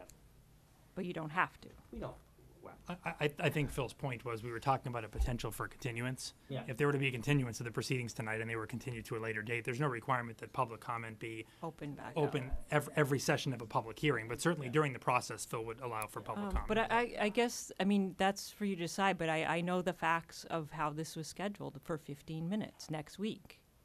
And that doesn't look like we But- wanted to hear We- everybody. we'll- I guarantee you, we will have plenty of time on that hearing, so if we need to, to open it something else for a moment and then continue it, we will, but there'll be plenty. And something like that usually doesn't just last one, one meeting, usually goes on I just several. want to say something that has nothing to do with the foundation. It's like, I feel like it's been said before, I feel like a ping pong ball every time I go to town hall. It's like, I don't know, I wasn't there, we didn't know. Well, this, well, talk to the police, talk to um, the inspector. No, it's the fire department. This town is driving the neighbors crazy. We need either you do know and you're lying, or you shouldn't be where you're sitting. And I'm not talking specifically about you, the whole town government, because it is ridiculous the amount of people and how many times we have to go to the same people. Well, I didn't say, oops, the map disappeared. I, I mean, I can go on and on. I've lived here for now 26 years, and it just started with the high school and the school building. And the superintendent at the time saying, oh, well, in 10 years, I won't be here. That's right, he wasn't here. And then we needed to pay more. And now it's going again. Now we need, we're letting all these people come in. And I'm not saying let's not build. I'm saying let's stick to the rules, to what we have. So then our taxes are not going up. So then we don't have, we want to beautify 126, but Ale House has a dumpster right there in front as you enter to town. Oh, but it's okay because they're good neighbors. I mean, it is ridiculous the amount of, excuse my language, bull that we get from the town that's representing us. And it's trying to help us, I believe. That's all I wanted to say. Thank you. Well, maybe we'll end it on that then. Um, I guess I'm not clear from the appellants whether you wanna continue or not, because it's your call. Um, i- if it would, it doesn't matter. Real- Right, it doesn't matter. Well, I No. thi- uh, you, you're right. I mean, we're gonna, we're gonna figure it We all need to out wrap at the it up, next. Right, like, at we the- have to figure this out, Yeah. so, I mean, even if we were to vote tonight and deny that foundation permit, we're gonna rehash the Revisit entire thing Exactly. next Yeah. week. that's what I'm saying. So, So wh- what useful purpose would it serve to, like, but it's your decision. throw so- a wrench Oh, in yeah, it? We're yeah. not throw, I don't know the correct, I don't know which way I'm supposed to answer, so I. Well, so- You can We- close this we- one and just say, all right, we'll do everything next week, or we can continue what we're doing today. And not close the hearing, and keep it open. Yeah, no, you, you you still need to need to make a ruling, but uh, Well, that's what we're asking I you. you do So- need to make You a can- ruling. yeah, And you so can do would it close at, at your, Well, we have four, if we close it, we have, what, fourteen days to issue Yeah. a decision? subject to getting an appropriate extension from, from the petitioner tonight. So the, the posture of this case is somewhat unique in the sense that a foundation permit issued and that foundation permit was appealed. And so you're being asked to reverse the determination of the building inspector that a foundation permit should issue. Now, it's unique only in the sense that in the interim, a stop work order issued. So no work is occurring on the site, but it's not the stop work order that's being challenged. In fact, to the contrary, that's almost what's being requested in perpetuity, that there be no further work on the site, that the foundation permit be reversed. Um, what the petitioner ought to know, as I know that you're aware, is that you've got a three-member board with a couple of alternates, but you've got three voting members of the board. And to overturn or reverse the building inspector, you need a unanimous vote of a three-member board by statute. Uh, that's anywhere in Massachusetts, not specific to Ashland. So that's what's being requested by the petitioner is a reversal of the building inspector, and they need three out of three to make that occur. If it doesn't occur, there's really not a whole lot different that happens tomorrow because the stop work order is still in effect. So whether you take action to reverse the building inspector and therefore you're revoking the foundation permit and no work can occur and the foundation shouldn't be there, or that vote fails and the stop work order is still in effect, un- unless and until that stop work order is issued, there's still no work occurring at the site. Okay, I don't know if that clarified what decision they need to make.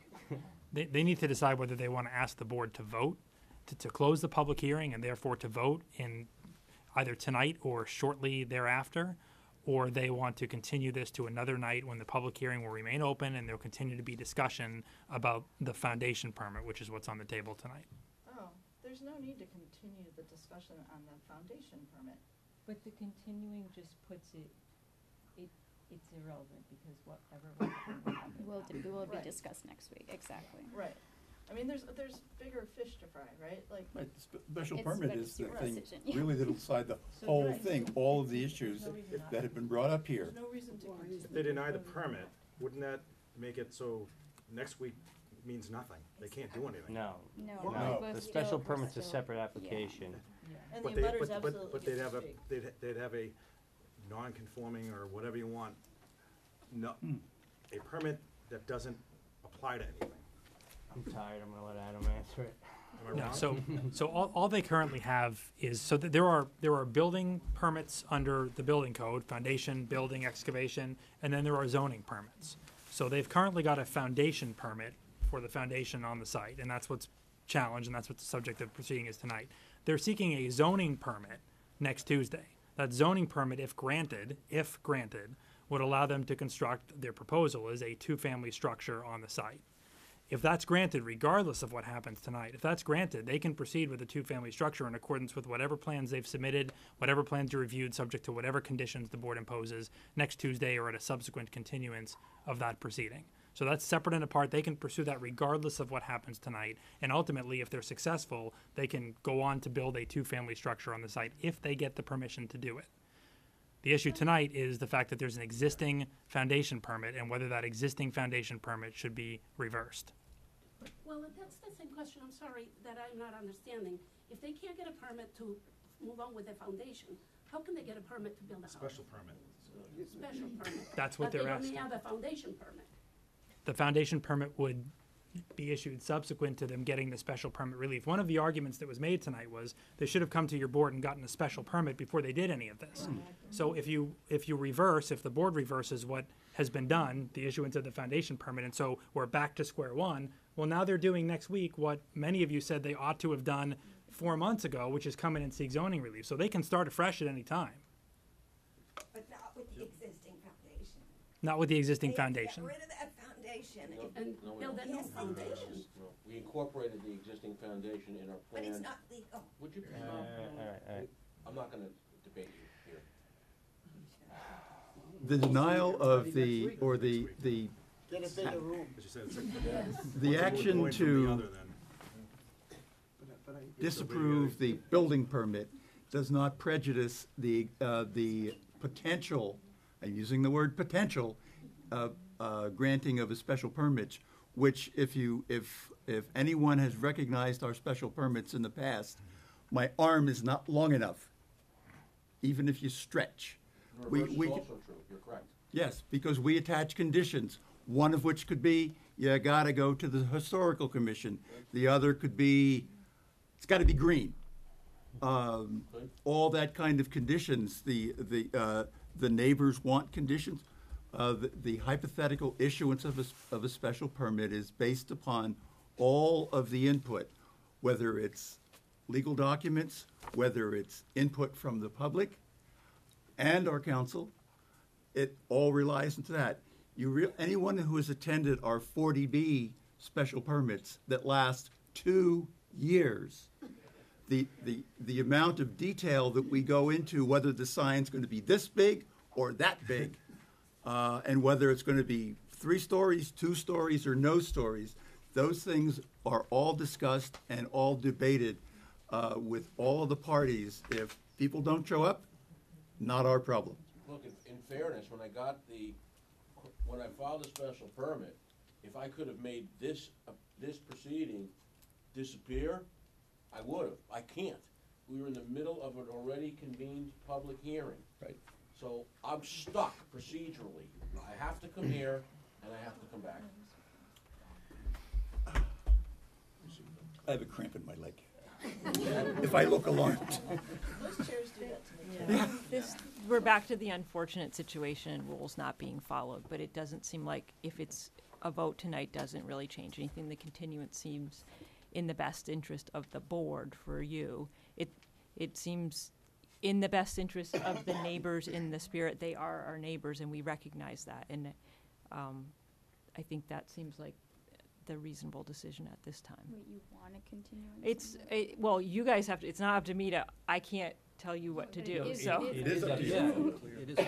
Um, There's a deadline. No, I understand, I understand. They need you to extend it. I don't or think they- Right, we so we care can either offer way. to extend, I can't tell them to do, prolonging Your special per, if you You- do that. right, so I can't, I can't make you do a continuance, that's your decision. We can offer an extension on the deadline. That's my understanding of the rules, it's up to you to, So to do you want it in continue. writing, like a written, you- like with forty B, I'd always get in writing from Yeah, we'll, we'll get something in writing if they're going to provide an extension tonight, and you can vote to continue it if that's what they're asking for. Okay. Does anyone have, do you have the, um, agenda for next week? I wouldn't put this on next week. Because I don't think it, I think, again, I think we should play the other hearing out through however many sessions. Well, that's, again, have. I'm just making Yeah, yeah, a yeah, practical suggestion, because as everybody has said, and if, when you get to see those plans, which are not before you, if you grant the permit, we'll incorporate that foundation. If you don't grant the permit, then obviously that foundation cannot be used in connection with those plans. We would have to come back to the building department to see if we could use it in some other way. That's just, as a practical matter, it makes so much what's sense. this, what's the schedule look like the next, The like, two month? larger items are the special permit and uh, 133 West Union. There are two smaller things, but those will be Yeah, that's gonna, uh, that's gonna take quite all quick. night. Um, Yeah, so what's the that's next gonna be, meeting? uh, a long- uh, Next meeting, um, Next Tuesday, isn't it? could be the twenty-fifth. Um, if not, then, um, then May ninth. Do we have anything on the twenty-fifth? Huntley buses on May ninth. Uh, but could be, I It will be. haven't, I know that, but we Yeah. know. yeah. Uh, for, uh, the twenty-fifth, uh, right now, there is not anything on. Alright, so maybe we'll reserve the twenty-fifth for, for both of these two hearings. So tonight's, we'll extend through the twenty-fifth on this, this evening. You want to extend for decision past the twenty-fifth. Right, we're gonna continue the hearing through the twenty-fifth, Make it extend the argument. decision for what, till the next meeting after that. That way we'll have all, we'll have next meeting for the special permit, allow us, that'll, that probably will not just be one night, we'll probably have two nights on that. So that will probably get continued to the twenty-fifth too, so we can take them both up, special permit probably first, try to continue the special permit, hopefully finish it up on the twenty-fifth, and then we can circle back depending on that deci- decision on this decision.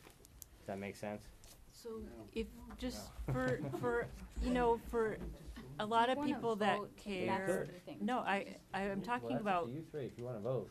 the, the April eleventh hearing in the fifteen minutes. So mm-hmm. you're gonna take everybody to come. We know we. It's not gonna be fifteen It's, minutes. No, it's not gonna be. No, I understand that. So You all know there's why gonna be a wouldn't you repl- the just same replay, right? continue that and then set, w- set up a proper time frame to allow for that hearing, even if it might go a second night? Because it's, it's really, it, it, whatever, people will show up, but you're, So you're hold that thought burdening for people. one second. Do you guys wanna just vote on it tonight? But we haven't got clearance from if they wanna close it or not. Well, we can close it if we want to. We need their permission to continue it. Oh, Yeah, we okay, can close it if okay. we Oh, want so we to. can just- If oh, we're ready to okay, vote, we're ready to vote. Okay, well, I'm, re- are you, good? I'm ready. But you have three voting members. Okay, all right. It depends on the turnout of the vote. If it's a split vote, then it's. Yeah. So then it's maintained, right, it has to be unanimous. Okay, then if that's the case, then I guess Close the hearing. we'll close the hearing. Um, so I'll take, uh, we good, cause I'm gonna take the motion right now to, to close it. Yeah, I move that we close All right. this hearing. Second. all in favor? Aye. Aye. Okay,